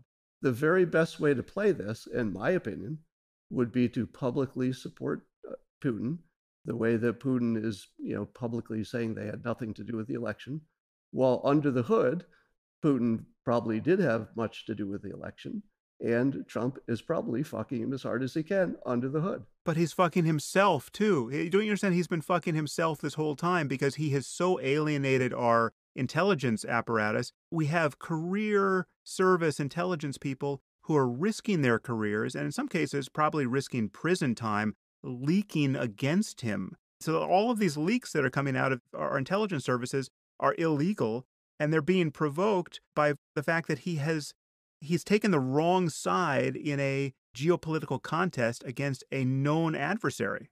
Well, I, I just told you that in all likelihood, he's doing exactly what we want him to do, but we wouldn't know what's happening with the intelligence services, what's happening in cyber. We wouldn't know. But we know about the leaks against him. We know about how much chaos is being caused over this Russia investigation and how it's being dragged out and how everyone's lying about it. I mean, this is a disaster. So we've been watching for two years as the uh, so called mainstream media has painted him as a crazy Hitler. So it is perfectly understandable that the intelligence agencies, just because they're human and they happen to be on his side and they have been convinced that he's a monster that needs to be taken out, um, uh, that all makes perfect sense to me. Wait, wait, it makes perfect sense to you that he would. I mean, just take the tweet of uh, now it's probably 10 days ago, where he tweeted that there'll be a joint US Russia cyber alliance to figure out, you know, how to protect us going forward from cyber espionage and people immediately joked yeah when is the you know the isis us alliance going to protect us against terrorism and then he tweeted you know an hour later or a day later essentially just kidding or of course it's impossible but still we got a ceasefire in syria you are describing those kinds of things as the actions of a master manipulator or persuader but these are so obviously counterproductive. I mean, yes, they're destabilizing. If you're going to, as a general rubric, if you let me tell you what I let me tell you what I think happened, as in the most likely explanation for those uh, those uh, things which you just described. Now, one explanation, and again, any explanation fits the past, so that's always dangerous stuff. So your filter on it fits, which is he's crazy, unstable. He sends one tweet that doesn't make sense, and then another one that cancels it out. So the filter that says he's crazy and unstable and you know whatever fits those facts. Here's another one that fits. He tries a lot of stuff. He does a lot of A/B testing, including with the public. He probably thought about this idea and wondered if there was some way in which we could work together without creating any unnecessary risk. It took probably 24 hours for the people who do this stuff to say, no, there is no way to do that, even though maybe commonsensically it seems like there might be you know some corners some some parts in the margin that we could work together if we did we wouldn't want to tell the public and we wouldn't want to do anything important so then he says well we talked about it but it can't happen and it won't happen that's what his second tweet said so to me that fits the filter as well a person who was open to an idea that was out of the box which is why his supporters support him because he does think out of the box in part uh, he considered it for a day he got expert advice. It didn't make sense. He told us. Is that as crazy as it sounds? I mean, the problem is, Scott, everything fits that filter. I mean, if he takes his pants down in the rose garden and starts screaming, that will still fit the filter. He tried something, he's A B testing, he's destabilizing everyone. Look, everyone's talking about that and not the oil pipeline he just rammed through or the or the climate change agreement he just canceled or whatever. And you could always do this post hoc look, it's just it's, yeah. it's all it's all theater and, and it's working for him until he's impeached. Only impeachment would be a counterpoint here. Let me let me agree with you as hard as I can, because that's the same point I was saying that you can always explain the past with a variety of different filters, as we just did. That's not true of everything I'm saying. There's no explanation of him as an actually ethical person, as an actually honest person, as an actually well informed person that you can run through the data.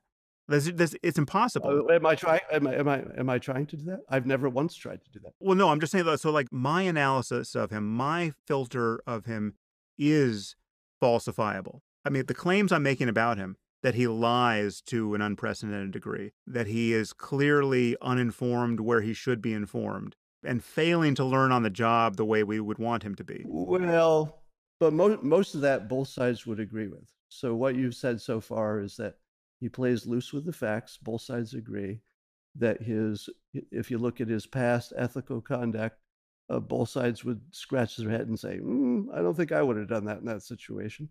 So we're we're in complete agreement on those things. But he also said, "I'm no angel, and I'm going to do for you, the country, what I've done to make myself so rich and successful." And by the way, it's a pretty public job, and you can watch you can watch all along the way. And by the way, I've been lying about how rich and successful I am by a factor of ten, and that's why I'm not releasing my tax returns. But uh, but uh, but uh, but I'll bet he's worth ten billion dollars now. Yeah, well, th- that to, that that's proving my point. I mean, that's that's the horror of the situation. He managed to make good on the con to make it a non-con in the end. Really, I, I, I will grant you that. But but again, and that's that's that that is exactly the skill set which he explicitly promises to use on our behalf, just like a a lawyer is. But it's not on our behalf. Take climate change, right? This is not on our behalf if you think climate change is a problem, right? And, and if you don't think climate change is a problem, if you think you are your own climate scientist because you did some Google searches, well, then you're just again you're you've just migrated away from a fact-based discussion about reality and this is not good for the country that we have a president who's done this take infowars we have a president who has dignified Alex Jones as essentially better than, not only equal to, but better than the, the, the, mainstream news media, right? And Alex Jones is someone who's been telling the world that, that the Sandy Hook massacre was a hoax so that Obama could come take our guns away. Absorb the ethical implications of that and the experience of the parents who are getting death threats for having faked the deaths of their children. And you've got Trump sitting down with him as though he's Ted Koppel. It's insanity that we have a president who, is behaving this way, and you're you're painting it as something that is just has no cost. Right? It's not only has no cost; it's probably a good thing because it's in our interest. No, you remember I interrupted you the last time you said no cost. I'm explicitly saying it has a cost. It has a cost to him reputationally. You said it's a bad thing for everyone that Alex Jones has the president's ear. It's insane. And the I mean, I mean, take climate change. Well, I mean, what's your view of I mean, for, forget about what you think about whether the climate change agreement we walked away from was going to do much of anything. We can debate that, but in terms of the importance, of, isn't that? But that that debate's largely over, right? He, it turns out that when people looked at the climate uh, agreement, that it didn't do much. It just cost a lot of money. The, the narrow focus on that agreement is not the thing. The, the, the focus is on getting the entire developed and developing world on the same page that we have to address a global problem that no nation can address on its own. All right, but let, us just look at it one part at a time. You know, he famously called climate change or climate science, I guess, or global warming a, a hoax. Yes. It turns out that the agreement, the the centerpiece to the whole discussions, was closer to a hoax than a useful agreement. I, I would say that characterization was still hyperbole. You know, it was more like an agreement that didn't do much as opposed to an actual hoax. But we had been sold, I know I had been sold that that agreement would actually do something. Well, no, no, you're, you're equivocating on, on what, what is the hoax here. He said that climate change is a hoax. That like the the the, yeah, the, I'm, I'm, the, the, consensus. Yeah, I mean, so that I mean that's for, forget about the agreement. The problem is we have a president who will say things like climate change is a hoax cooked up by the Chinese to harm our manufacturing base. Well, hold on, hold on. Now, if you assume that he is underinformed and is in the process of becoming more informed, then I would say that he's doing the smartest thing I've ever seen a president do. And I know you're going to hate that because, you know, I talk about in the book you're reading, I talk about systems being better than goals. One of the systems that apparently is coming out of his administration from the EPA is the idea of this red team, blue team uh, discussion on climate science which would have the benefit of educating the public. And here's the brilliant part: if it turns out that the uh, that the consensus of scientists are spot on and and everything they're saying, we should have listened to them harder.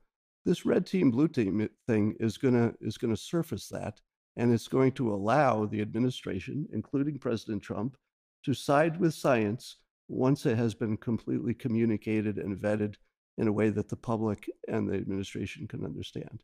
Because the alternative to that is to for him to pretend he understands what science is saying, and I think that that that is the big uh, dope trap that any of us think we. You know, well, in your case, you maybe you can understand the science, but the average person, you know, doesn't have any hope of looking into this field and penetrating it. But but they don't have to. The point is is it's not our job to vet all of the specific sciences that the scientists working in that field are doing nothing but vet themselves. And so when it's like people do things well, with climate science that they would never do with oncology or with anything else. It's like it's like you're you're not an oncologist, right? And when 97% of oncologists say that smoking causes lung cancer, you wouldn't be tempted to go on the internet and after an afternoon of Google searches come to your own opinion about whether smoking causes lung cancer. That's not a move that people tend to make because, if, for whatever reason, that's just not what people are, are politically let's, divided about. Let's use another example. Let's say the the government's food pyramid. Um, you know, 20 years ago. Yeah, that's a that's a famous area where the science is unsettled and also where the incentives to do science, where everyone's, eh, you know, the you got the Sugar Council doing their own science. I mean, it's basically like big tobacco funding their own research. So, so you would say that there are examples in our common experience in which the experts who had um, some career-related incentive to fudge things, fudge things, and fooled us for years that the consensus was right when in fact it was completely a hoax. Would would you agree with that statement with the food pyramid? With food, I had Gary Taubes on this podcast, which proved to be surprisingly controversial. It's amazing how heated people get over this issue around food. But I would grant you that in the area of diet, and I'm sure that probably there could be some other areas we, we could think of, the consensus is unusually confused and has been for decades. And there's a lot to do to untangle the sources of people's confusion. And undoubtedly, there are bad incentives and poor research getting involved. But again, the, the cure for that is clearly more science. It's not a non scientist getting a vibe by putting his finger to the wind or, or, doing some internet research. But that's a straw man because there's nobody who's opposed to more science. But that's not true. Because this red team, blue team thing, this is already been done in the science. When, when you're talking about whether climate change is is is an issue. No, the red the red team blue team thing, as I understand it, is a military process. Yes, which uh, which does not have an exact um, you know analog in peer review or anything like that. So it would be on top of the on top of the science. But but my point is, you're you're, you're taking something from science about which there is very little controversy, and and whatever controversies surround it it's at the margins. It's not about this basic issue, right? Well, if if if that's your statement that there's very little controversy, can you point to the economic model that tells us both the costs and benefits and when we should invest and what way we should invest to deal with climate? The economic model is the one that tells you what to do, how hard to do it, and when to do it. The science doesn't. Yeah, well, I mean, the econ- so the, the economics of it are obviously important to get as right as we can get them. And this is one of the real travesties of Trump's messaging here. I mean, Trump is talking about bringing back coal mining. Trump is the kind of president where Elon Musk has to resign from his advisory council for how embarrassing it is to be me, hitched to him. So, let, like, let me, where's the where's the future with with seventy five thousand coal miners? Or w- with the 500,000 people in California alone who are in the alternative so, energy so, sector? Uh, as I mentioned before, my background is I've got a degree in economics and I have an MBA from Cal Berkeley. So I tend to filter things that way as well. Um, and with the situation with uh, climate change, one of the uh, things that you always have to decide is is when to start. And I had the the same situation with my uh, my house. When I built my house, I had to decide whether to put, solar panels on the roof. Now they said if you put these panels on, they'll pay for themselves in seven years or whatever it is, fifteen, whatever. And I said, well, that's uh, that's a terrible deal. Do you know why it's a terrible?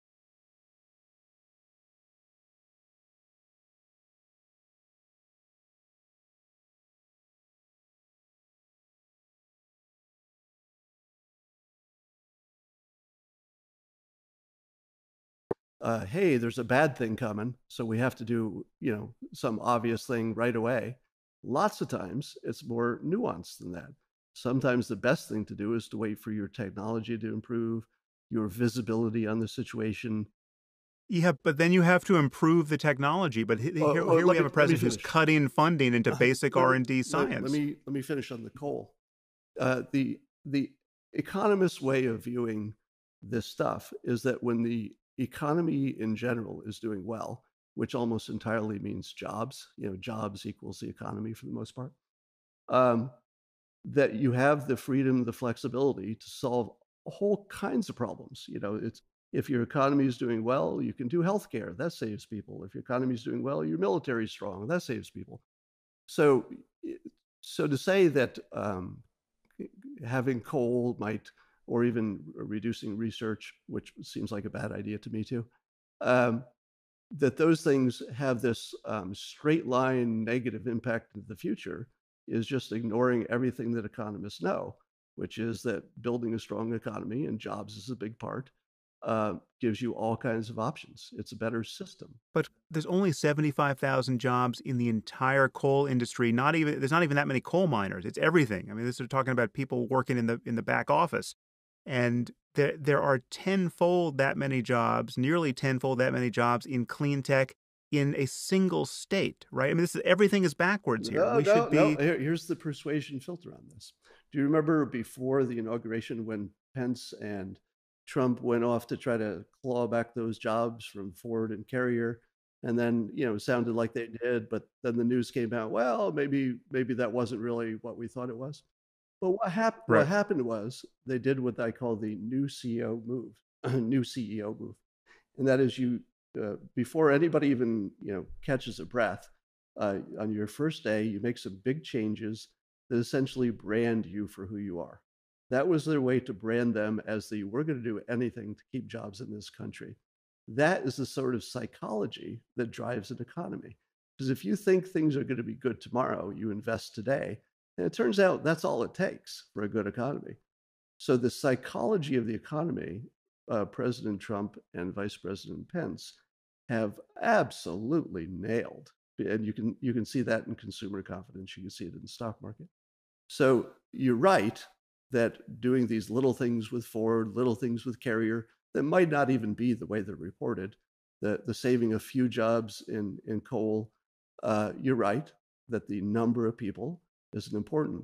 But when you see your president clawing to keep people employed, clawing to keep jobs in this uh, this country, you say to yourself, "This is a country I want to invest in."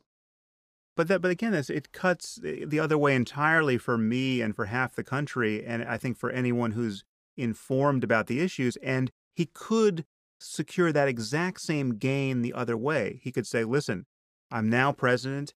I understand both how dangerous our situation is with respect to climate change and how much opportunity there is to make trillions of dollars if we seize this opportunity. Do we want China to be building all the clean tech or do we want to build it? I've just invited Elon Musk onto this advisory board. I'm going to be in close consultation with him and everyone like him to figure out how we can we can ram through the 21st century in a few short years. And yes, there are coal miners who will lose their jobs, but here, there are 75,000 of them, and we can easily retrain them or find some other way to compensate them for the loss of these jobs. But clearly, the future is in getting our power from sunlight and in breathing clean air, not having tens of thousands of lung cancers and, and people dying from emphysema needlessly in our cities because we can't figure out how to transition to electric cars. I mean, forget about climate change. You could sell this entire thing on the basis of clean air.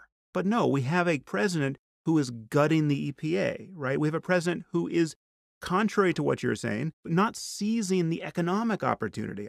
We should be doubling our R&D on everything related to the future of energy technology, and we're not doing it. Yeah, uh, And he could sell it. He, he could do the exact thing you you say he's accomplishing by championing the cause of coal miners. now, uh, he could do the uh, exact same thing in a, in a clean tech well, he could. Uh, my understanding is he's he's an all energy guy. You know, you you push push open every door, and some of them will be, be better than others.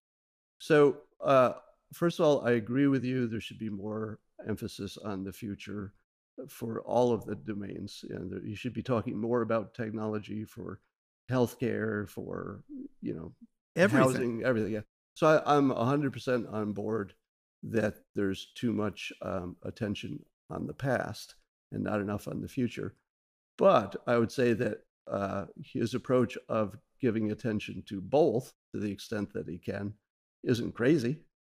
But he can't. Again, it's a zero sum contest between the past and the future here. Elon had to leave because it was such a scandalous association at that point. I perceive Elon as taking a significant personal and business risk by leaving because a lot of his business is based on government contracts. Trump could screw him. If Trump, who is this famously vindictive guy, if Trump decided to see his departure as a personal affront, he could say, well, you know, I, I, what I'm going to do whatever I can behind the scenes to make sure the Air Force doesn't launch any satellites with SpaceX anymore, right? We're going to do it. We're going to find some other way to do it because, you know, Elon screwed me publicly.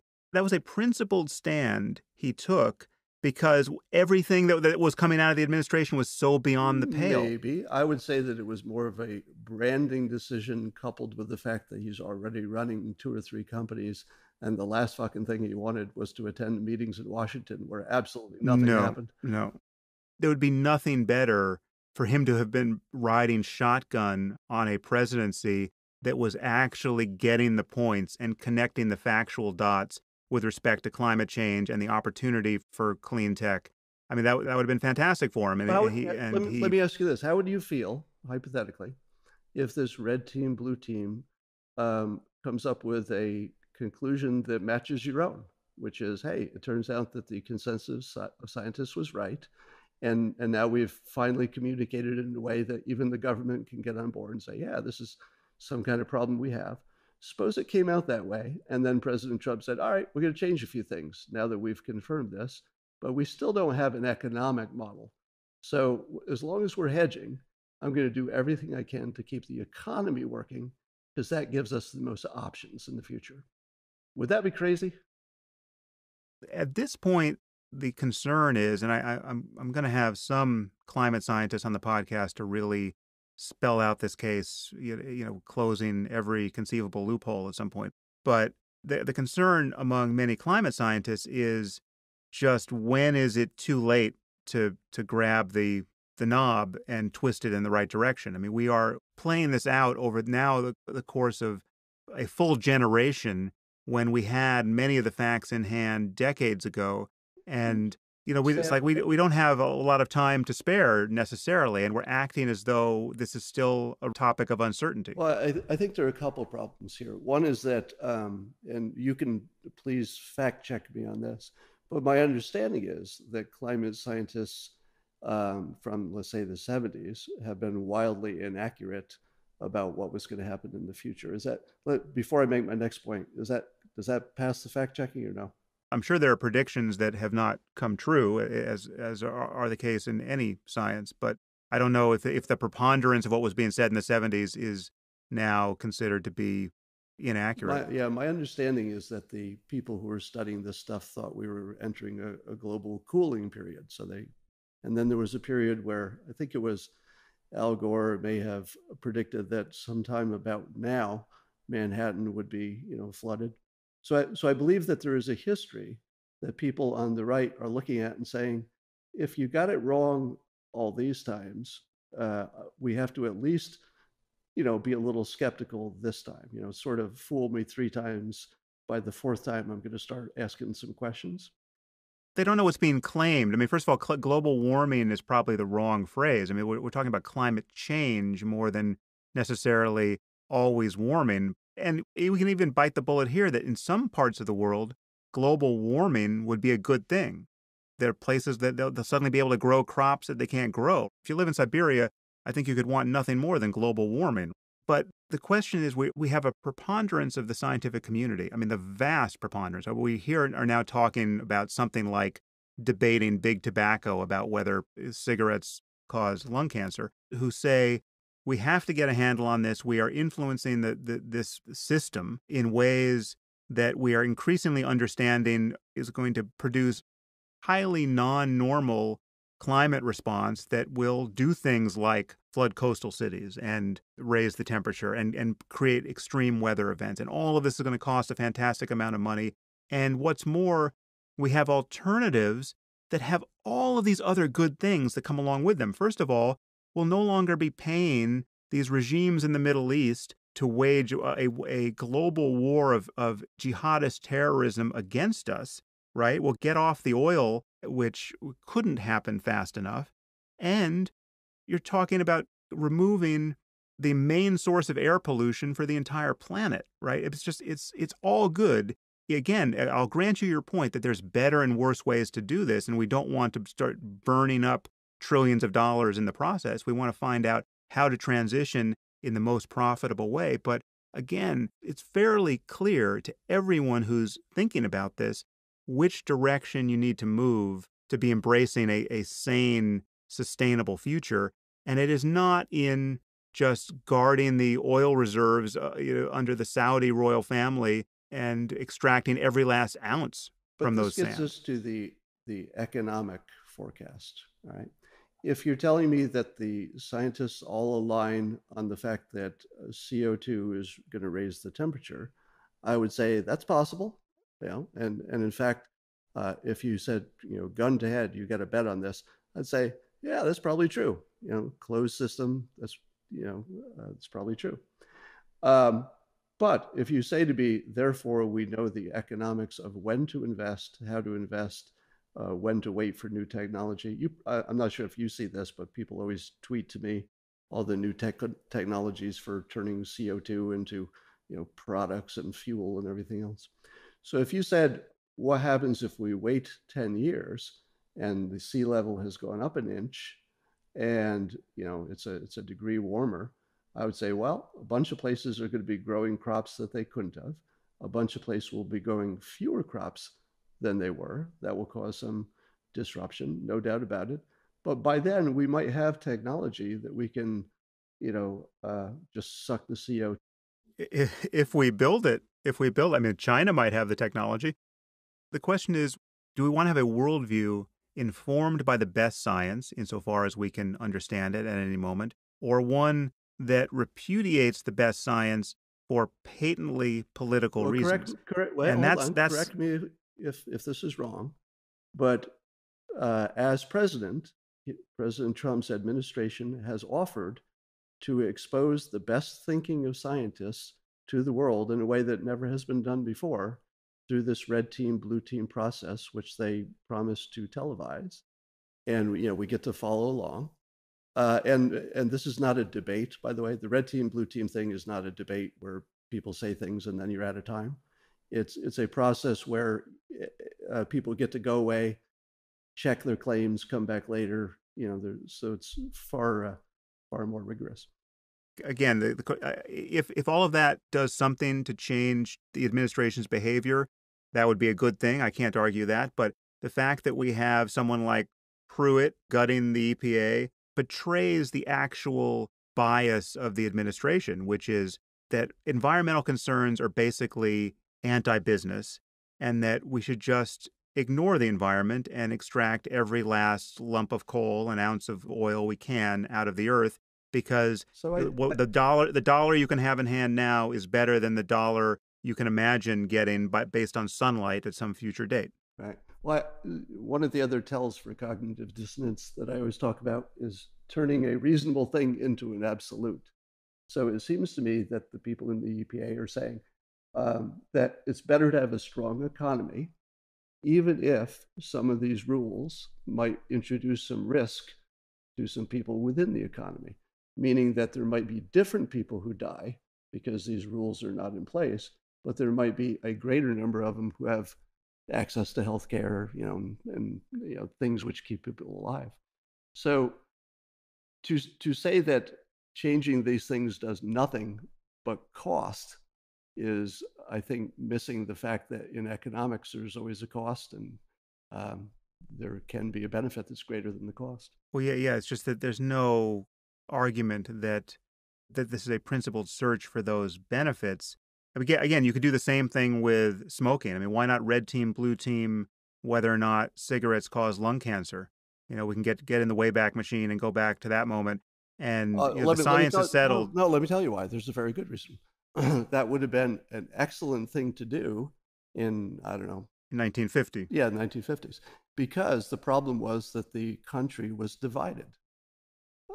And right now, with climate science, although the scientists are not divided, it's the perfect situation to educate the public because the administration is helpless until the public gets on board. Well, that's not true. I mean, the, administration can do whatever it wants. I mean, as you as we've seen, Trump can at at considerable reputational cost just change his mind when he gets new information, and his fans, his supporters, will go along with him for the most part. As you said, if he decides not to build the wall because it's not practical, well, then you know most people will come along. He, that was just his first negotiation. But he doesn't need to take a hit to his reputation because he can do it in a way that improves his reputation while informing the public at the same time. And I think this red team, blue team process, once televised, will do exactly that. We're all going to be a lot smarter about this stuff. Uh, let, me, let me make one point about climate science that I think is too important to gloss over. Uh, my view is that you can divide it into three categories the topic, and you can assign different levels of credibility to each. One would be the basic science, you know, the chemistry, the physics. I would imagine that that is very high credibility, that we probably have a good handle on that stuff. Secondly, there's the building of models, which is something that scientists do and they try to use all their best thinking and people look at them. But by their nature, the complexity and the fact that at least some of the decisions uh, depend on human judgment, that's why there are different models and uh, lots of them and they come to slightly different, in some cases, sometimes wildly different results, but they throw away the wildly different ones. Um, in that situation, if you didn't know even what the topic was, yes, let's say you didn't know you were talking about climate science, you just said, bunch of people who are super smart are building these complex models. There's bunches of them. Historically, a lot of them didn't work. Some of them actually match what we've observed. I would say to you, well, if you make enough models, and you have some flexibility to, to change them, that looks just like my experience when I was doing financial modeling for a bank, in which my boss would say, Hey, make this turn out this way. And I would just tweak the assumptions until it did. That was my job. Now, I would say that the models have a lower credibility by their nature. I'm not saying how much lower, but I think you'd agree, a lower credibility than the basic science. And then there's the third thing, which I keep mentioning, uh, because it's so important, which is the economic models. That even if the even if the scientific models of where temperature is going are reasonably, at least directionally right, there's still a gigantic question about the smartest way to play it. And it is not my assumption that the smartest way to play it is obviously and certainly to go aggressively, um, you know, to do the well. Take take the example of the Paris Climate Accords. You know, even the people who were in favor of it after they saw the details at this point kind of agree well okay it didn't do that much. So that the what you do about it is the part that matters but you can't get to that until the public is sort of you know lined up uh, you know behind it. And i think that red team blue team thing is the way to get there. Again, I mean, uh, everything you just said sounded reasonable, but it doesn't sound reasonable coming from someone who just said that climate change is a hoax invented by the Chinese, right? Like, like, like that's that's the thing that's so highly and obviously non-optimal so about the let, president. let- let me ask you this so you you know that he he tells us he uses hyperbole to to make his point you know that he uh, says things during the campaign that are slightly different than the things he would say as president because we we observe that to be true he's well, he's I'm not so sure about that at this point, frankly, because no, he, he he didn't get saner as president, well he, well he did or much saner. Uh, look at he backed off waterboarding. You know, uh, he backed off uh, deporting 10 million people all at once. He he backed off uh, the, the going after the families of the terrorists. But then he accused Obama of of wiretapping him. He's just as much the loose cannon. He's just on to different topics. Well, even the wiretapping thing, the the government is listening to all of our conversations all the time, right? So Well, so, so you well, could no. Uh, first of all, no, and and second of all, for the sitting president of the United States to accuse the previous president of having wiretapped him, it's a very specific claim.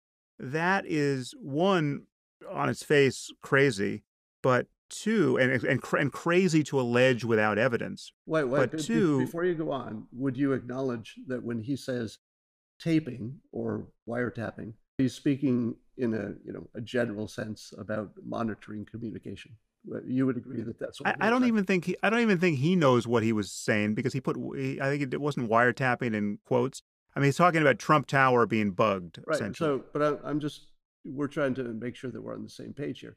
You yeah. would agree that he meant that word to be generally monitoring communications. I'm just saying, imagine, um, uh, just imagine Obama coming into office and having immediately accused George Bush of having wiretapped him. I mean, it would just analogy? like. Are you giving me an analogy? Because... It's more than an analogy. It's, it's it's still the U.S. presidency. We're talking about the U.S. presidency at two different time points. It's such crazy, uncivil behavior. It's the new normal because of the chaos that he has introduced to our political system. I mean, we can't even focus on it because there's a hundred things like that. Scott, I, I see we're getting to the, the two hour mark here, and I'm I'm mindful of your time, and I'm also uh, mindful of, of when I'm going to lose this studio. I want to just pivot just for, for a second to the Russia thing because I think we kind of blew past it, and I don't think we're going to you know get into it very deeply. Obviously, the, the news is moving away from us uh, as quickly as a rocket ship at the moment. I mean, we're we're having this conversation. I think the day after the the recent you know Donald Trump Jr. epiphanies uh, with his uh, having given his emails to the public, and everyone's having their reaction to that. Who knows what things will look like when when we release this? But I just want to I want to bring you to your views on the Russia thing because I you wrote a blog post titled "Russia hacked our election." So what? And you seem to believe again, this is somewhat of a piece with your relationship to the climate science topic. You seem to believe that there's either some uncertainty about whether or not Russia did much of anything, or whether it would even be wrong if they did, and you I mean, and you seem to doubt whether Russia is really all that hostile to our interests, or whether Putin is really that bad a guy, or whether there's really anything here to be concerned about. And so I just want you to represent what what what in fact you think there. Um, well, I think you have to look at this Russia thing in its individual parts because they're not all equal.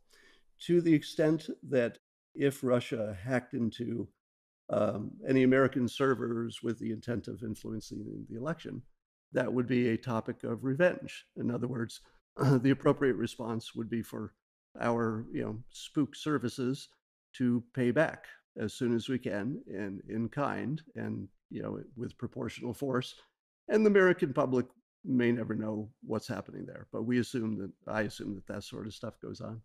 At the same time, it makes sense for the president not to be burning bridges unnecessarily because we're always doing this poking back and forth below the hood. So, you know, being nice with somebody who who has uh, similar interests to us, at least in terms of ISIS, at least in terms of North Korea to some extent, uh, makes sense at the moment. So I think that in all likelihood, we don't know what's happening under the hood, what the what our what our cyber people are doing, but I would be astonished, astonished if the man who is most famous for revenge and never letting anybody get away with anything is is letting this slide. you know, he may wait for his chance, but I don't think he's going to let this slide. So you're not concerned that he has a a double allegiance to you know, either the the Russians who have invested heavily in his properties, or that he's in any way compromised by Russia, so that and that that explains how soft he has been on them and how incredulous he has been about this being a scandal at all. The fact that he would relate to this as fake news. You're, you're that you think there's just no there there. Um, I think it's not a one variable world. I think that everyone is influenced by all of those big factors. So he's influenced by wanting to do a good job. He's influenced by not wanting to lose face, not not lose to Putin. He's influenced by, I'm sure, the fate of the Trump empire. But it's one of many variables that are swirling around. But what what do you make of all the line, like all the contacts with Russia that were all lied about until they were revealed? So you've got, and now the, the most recent one is you know Don Jr we've got him on camera on CNN or wherever it was, having to respond to the charge that they've had all kinds of contacts with Russia or, and representatives of Russia.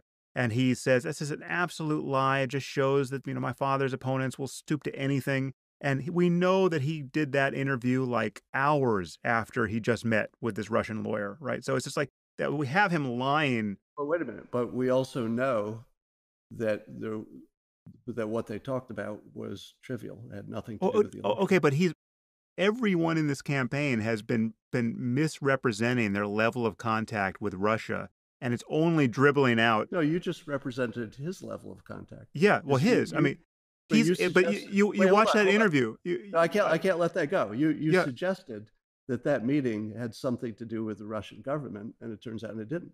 Well, no, it, no, it did because he believed that it did. I mean, the email, the email trail was him showing his absolute willingness to collaborate with the Russian government to get some dirt on Clinton. I mean, that that's Uh, Well, collaborate and collusion. You know. well, is- I, is- I'm I'm not even focused on on the technicality of whether or not he's Let me- guilty of a crime. I'm just I'm ask- just saying that me ask you this. Let me ask you everyone's talking to Russia over there and they're lying about it. Again, the the the starting position from Trump and everyone on down was there has been zero contact. That's their position, and yet they've had all this contact. Wait, wait. Did they say they had not talked with anyone who is a Russian citizen, or did they have no contact with Russia as a, you know, their intelligence or their government? It has been every possible permutation of I've got nothing to do with Russia. I've got no investments in Russia. I've got no, no connection with Russia. I don't know anything about Russia. No one on my campaign has talked to Russia or any anyone representing Russia. I mean, everything like that. And do you think that twenty-minute conversation that was about adoption or something? But it would no, it wasn't about adoption. The, the setup in the email was, "We've got dirt on Clinton. You know, do you want to meet with us?" And he said, "I love it. I'll be there in five seconds." I got to ask you this, Sam. How would you have handled that situation? Okay, no, but that's that's a change of topic. I well, I would I would have called the FBI as the short answer. Well, hold on, hold on, hold on. So if you called the FBI, and it's let's say it's June and the the election's coming up, suppose it was something vital, like it was important. Suppose it was Oh, something please. that the the voters wanted to know. Please, to take them the the actual uh, a, a relevant example, although probably a harder case was this. I believe happened in 2000 with Gore, where some uh, I don't know if it was hacked or just stolen material from the Bush campaign was brought to to the Gore campaign, and they, without looking at it, apparently they called the FBI. Right, so like, no, we're not going to use this. This is illegal and this is unethical, and we're not going to be part of this. I'm not imagining that everyone who does, you know, opposition research for presidential candidates has to be held to an ethical standard that I would hold myself to in, in my daily life. I, I, I don't have too many illusions about how dirty all of that gets. But here you have a, a known hostile foreign power intruding into our process, and that Let- puts it let- that puts it could completely let- out of normal op- opposition let me- research. Let, let me tell you how I would have handled it in that same situation. I would have first gone to the meeting and found out what they had. I, I would expect that it would be nothing because it's the sort of offer that you expect to be, you know, exaggerated. So I would go there because my contact said I should, and you know, I'm just, you know, it's a personal connection of some sort. I would go there, I would listen. If it turned out to be important and something that law enforcement needed to know about, I would let them know, but I would also know what the information is first. Because here's the thing if if you turned it over to the FBI and it was something big, and I'm not saying it's likely that that would be the case, but if it was something big, because that's how it was alleged, you would have put the decision for who became president of the United States into the hands of James Comey, because he would Well, no. decide. Well, he would decide whether he's leaking it or announcing it. That would be his decision because you have you've given the information Okay, to him. but but, but If- this, is, I hold mean, on, thi- this is neither. finish. Let me just finish. If if you if you also knew the information because you obtained it first, and then you said, "Oh my God, there's something fishy here," FBI get involved. Then you also have maintained the option of letting the American public know this information if it was important.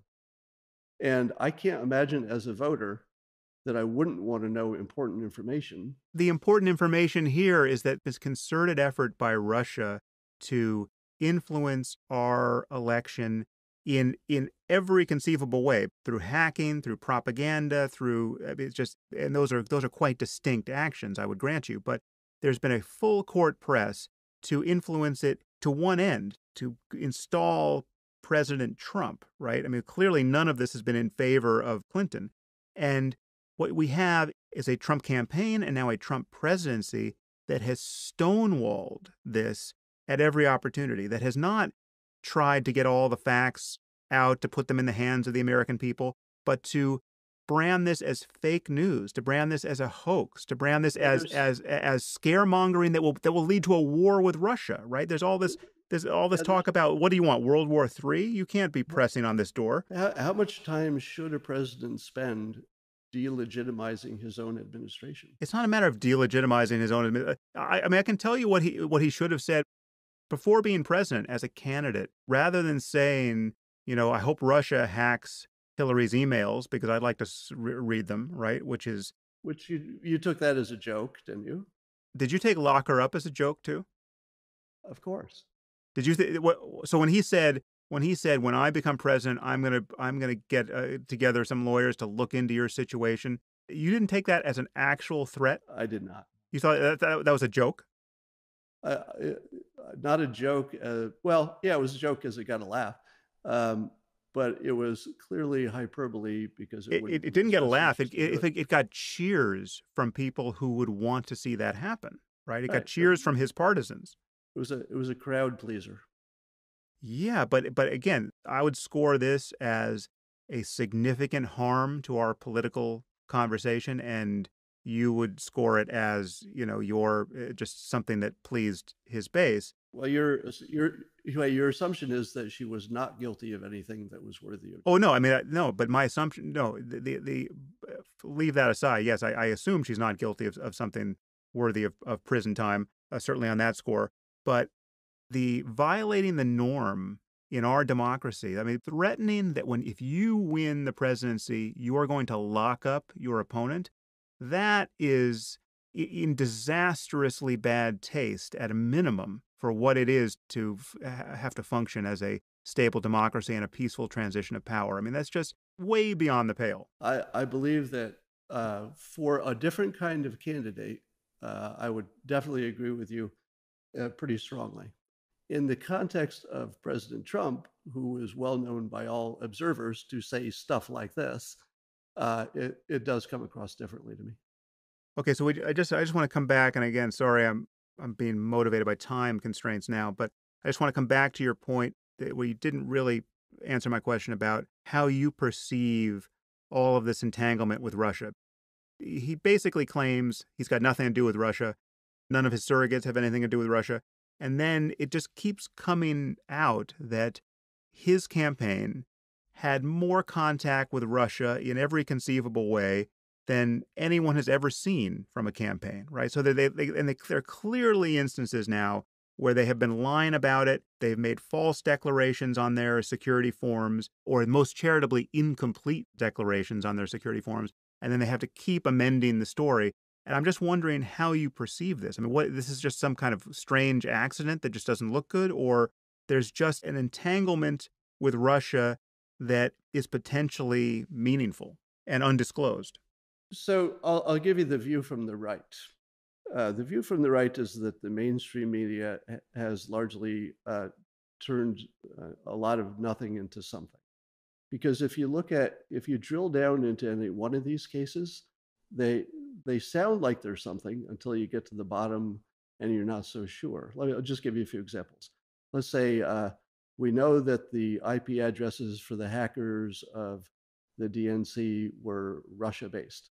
So you say, oh my God, that's pretty bad. And then you hear an expert say, well, that's how you hide where you're really coming from. You just act like it's over in Russia. I have personally talked to uh, somebody who has used that trick to use an IP address in Russia for a different project. Uh, so technically that could done. So I say to myself, okay, there might be something there, and we should definitely find out what that is. But on the surface, it doesn't mean anything because but, okay but but what what should mean something again this is analogous to what you're tending to do with climate science. I mean so it's just like we have our intelligence our full intelligence apparatus declaring this happened in, in a bipartisan way. This happened it was russia. You're not privy to top secret information right? You don't know what they know. Why are you tempted to second guess how they have analyzed the ip addresses well, just because we don't know. And we know that there are. But they're saying they know. I mean, like, so I'll, this, I'll give you an example of where you would just never do this. I mean, just imagine if NASA announced today that there was an asteroid that was on an Earth crossing orbit. They're really worried about it, right? It, uh, you know, their, their current calculations suggest that it could come within, you know, 5,000 miles of Earth, give or take 5,000 miles. And JPL and the other labs come forward and say, Jesus Christ, this is the scariest thing we've ever seen. This is a serious problem. It's all hands on deck. We got to figure out what to do about this. And you don't even own a telescope. You would not be tempted to say, you know what? I, I haven't seen those calculations and I'm not so sure. I mean, like you, you have to outsource some of your reality testing to the people you've hired yeah. to do so, it for you. And in this case, we've got all these intelligence agencies looking at Russia. But would you also agree that we have notable examples where the intelligence agencies of course, of course. But then the the remedy for that is more and better intelligence. It's not the next tweet from somebody who will say, "I just talked to Putin and looked into his eyes and he said he didn't do it." Uh, let, let, let, me let me let me finish my point because I think when you see the context, it'll make more sense. So, if the intelligence agencies know stuff we don't know, and they're right, and and Russia and its government was behind hacking the servers. That's important, and I would expect that our administration would pay them back in kind, and we may never know what that is. But the trouble is that you start lumping the things that uh, are real or could be real with the things that just sort of sound like they almost are kind of real. And, and then you start building this well when there's so much smoke there must be fire so the, the things that are less real like the don junior meeting that really I would have taken, frankly. I would have taken that meeting just to get the information in case it mattered, and then I would have turned it over if if that was the right thing to do, turned it over to the FBI or whoever. Um, so I would have handled it the same way, and I would think any any seasoned business person would also handle it the same way. But then again, you're you're wandering off the actual thing I'm asking about, which is not so much evaluating the quality of the intelligence uh, about Russia. It's the fact that that we have an administration, we have Trump and everyone below him consistently representing the fact that they've had no contact with Russia or no contact that they remember with Russia. And it continually gets found out that they've had meetings that they that they have at the very least not been forthcoming about, and which there's no credible reason to think that they would have forgotten about. So it's like, what what do you make of the fact that there's that that level of dishonesty about a connection to Russia? Um, so let, us take some of those examples where we know for a fact that there were contacts. Uh, you're thinking about uh, General Flynn. I'm, I'm, just thinking about all of it: Sessions, Flynn, Don Jr., the investments that we know happened that Trump is lying about. I mean, we've got the Sun saying that they've they've got massive investment from Russia and then we've got Trump saying that you know he never has Russian investors and got no loans from Russia and no business in Russia and all the rest. All right, so so the the business stuff I I haven't seen good uh, good reporting on that yet, but I'll I'll take your word for that. But if we're talking about the Sessions and Flynn and Don Jr.'s uh, encounters with Russians, apparently once we drill down, they were fairly trivial. In other words, nobody is suggesting that those things that they left off the reforms actually were material. We now again, I have to remind our listeners we're having this conversation uh, 24 or 48 hours after the story broke, and when you're listening to this, there's probably another week of reporting. So who knows what is true now? But Don Jr.'s email exchange which again makes it very clear what the, the purpose of the meeting is. And it was not the first thing that he represented when this was starting to leak out over the weekend. And you've got Jared Kushner and Paul Manafort also in that meeting and also uh, sent the email, right? So it's the three of them. These are like the, this is the top level people in the administration now. Going to a meeting that's billed as with an emissary of the Russian government to get dirt on Clinton. And this is one of the meetings that they never disclosed and claim they never had. And we've got Don Jr. being interviewed about this topic that night. And he's saying that there's no contact with Russia. And what a scurrilous lie this is to suggest that there could be any contact with Russia.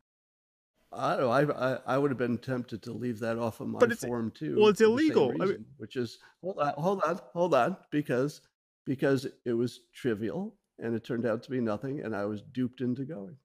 So I'm not sure I would have put that in my form or even remembered it, frankly. Uh, okay. Well, again, to watch this interview with Don Jr., which we know came immediately after this email exchange and meeting is to be in the presence of someone who is absolutely lying about something they must remember, right? It's just there's just no way this this is unforgettable. I mean, it's, it's like me just you know getting on television saying I've never spoken to Scott Adams in my life. I mean, there's just no way to do it. So Sam, he didn't he didn't say I I don't I didn't watch yeah, whatever you, should, you saw. You should look at I'm it. pretty sure I'm pretty sure he didn't say I haven't talked to anybody. Well, well, well, no, but it, but it's just the the because... allegation was that the campaign has been in dialogue with the Russian government and that there's the Russian influence here and right and and and, and that example was him not being in well, dialogue with anybody. No, no, no. He he was just fooled about the nature of the meeting. Please, please. He. Uh, all right. We unfortunately are, are out of time, and I will let our listeners adjudicate what what sort of progress we made or didn't make. But the, the thing I most appreciate about this conversation is the tone and mutual goodwill and the fact that you went down this rabbit hole with me and you know the, the goal here obviously is better understanding of ourselves and the world and and how we can get to a good place and i just think more of what are in fact very fraught and very hard conversations need to be had in this spirit of being willing to meet with goodwill and just uh, hash it out I would I would say the same. I think you're a force for good, and I've been a big fan for a very long time. Um, and I, I I love what you do, and I love that you would have this conversation. Cool. And and I I should say there are many things. I mean, though we I said this at the top, but though we sound like we disagree about everything here, the moment we would make a lateral move onto other topics, we agree about so many things. I know. I mean, I, just having read enough of your book, I know we agree about things like free will and the, the point you raised about goals versus systems. I mean, all of that's very interesting and could be the topic of a very fruitful conversation. Uh, and I would go so far, so far as to say that when you read my new book, Win Bigly, about persuasion and about the election, that the gap between us will close substantially.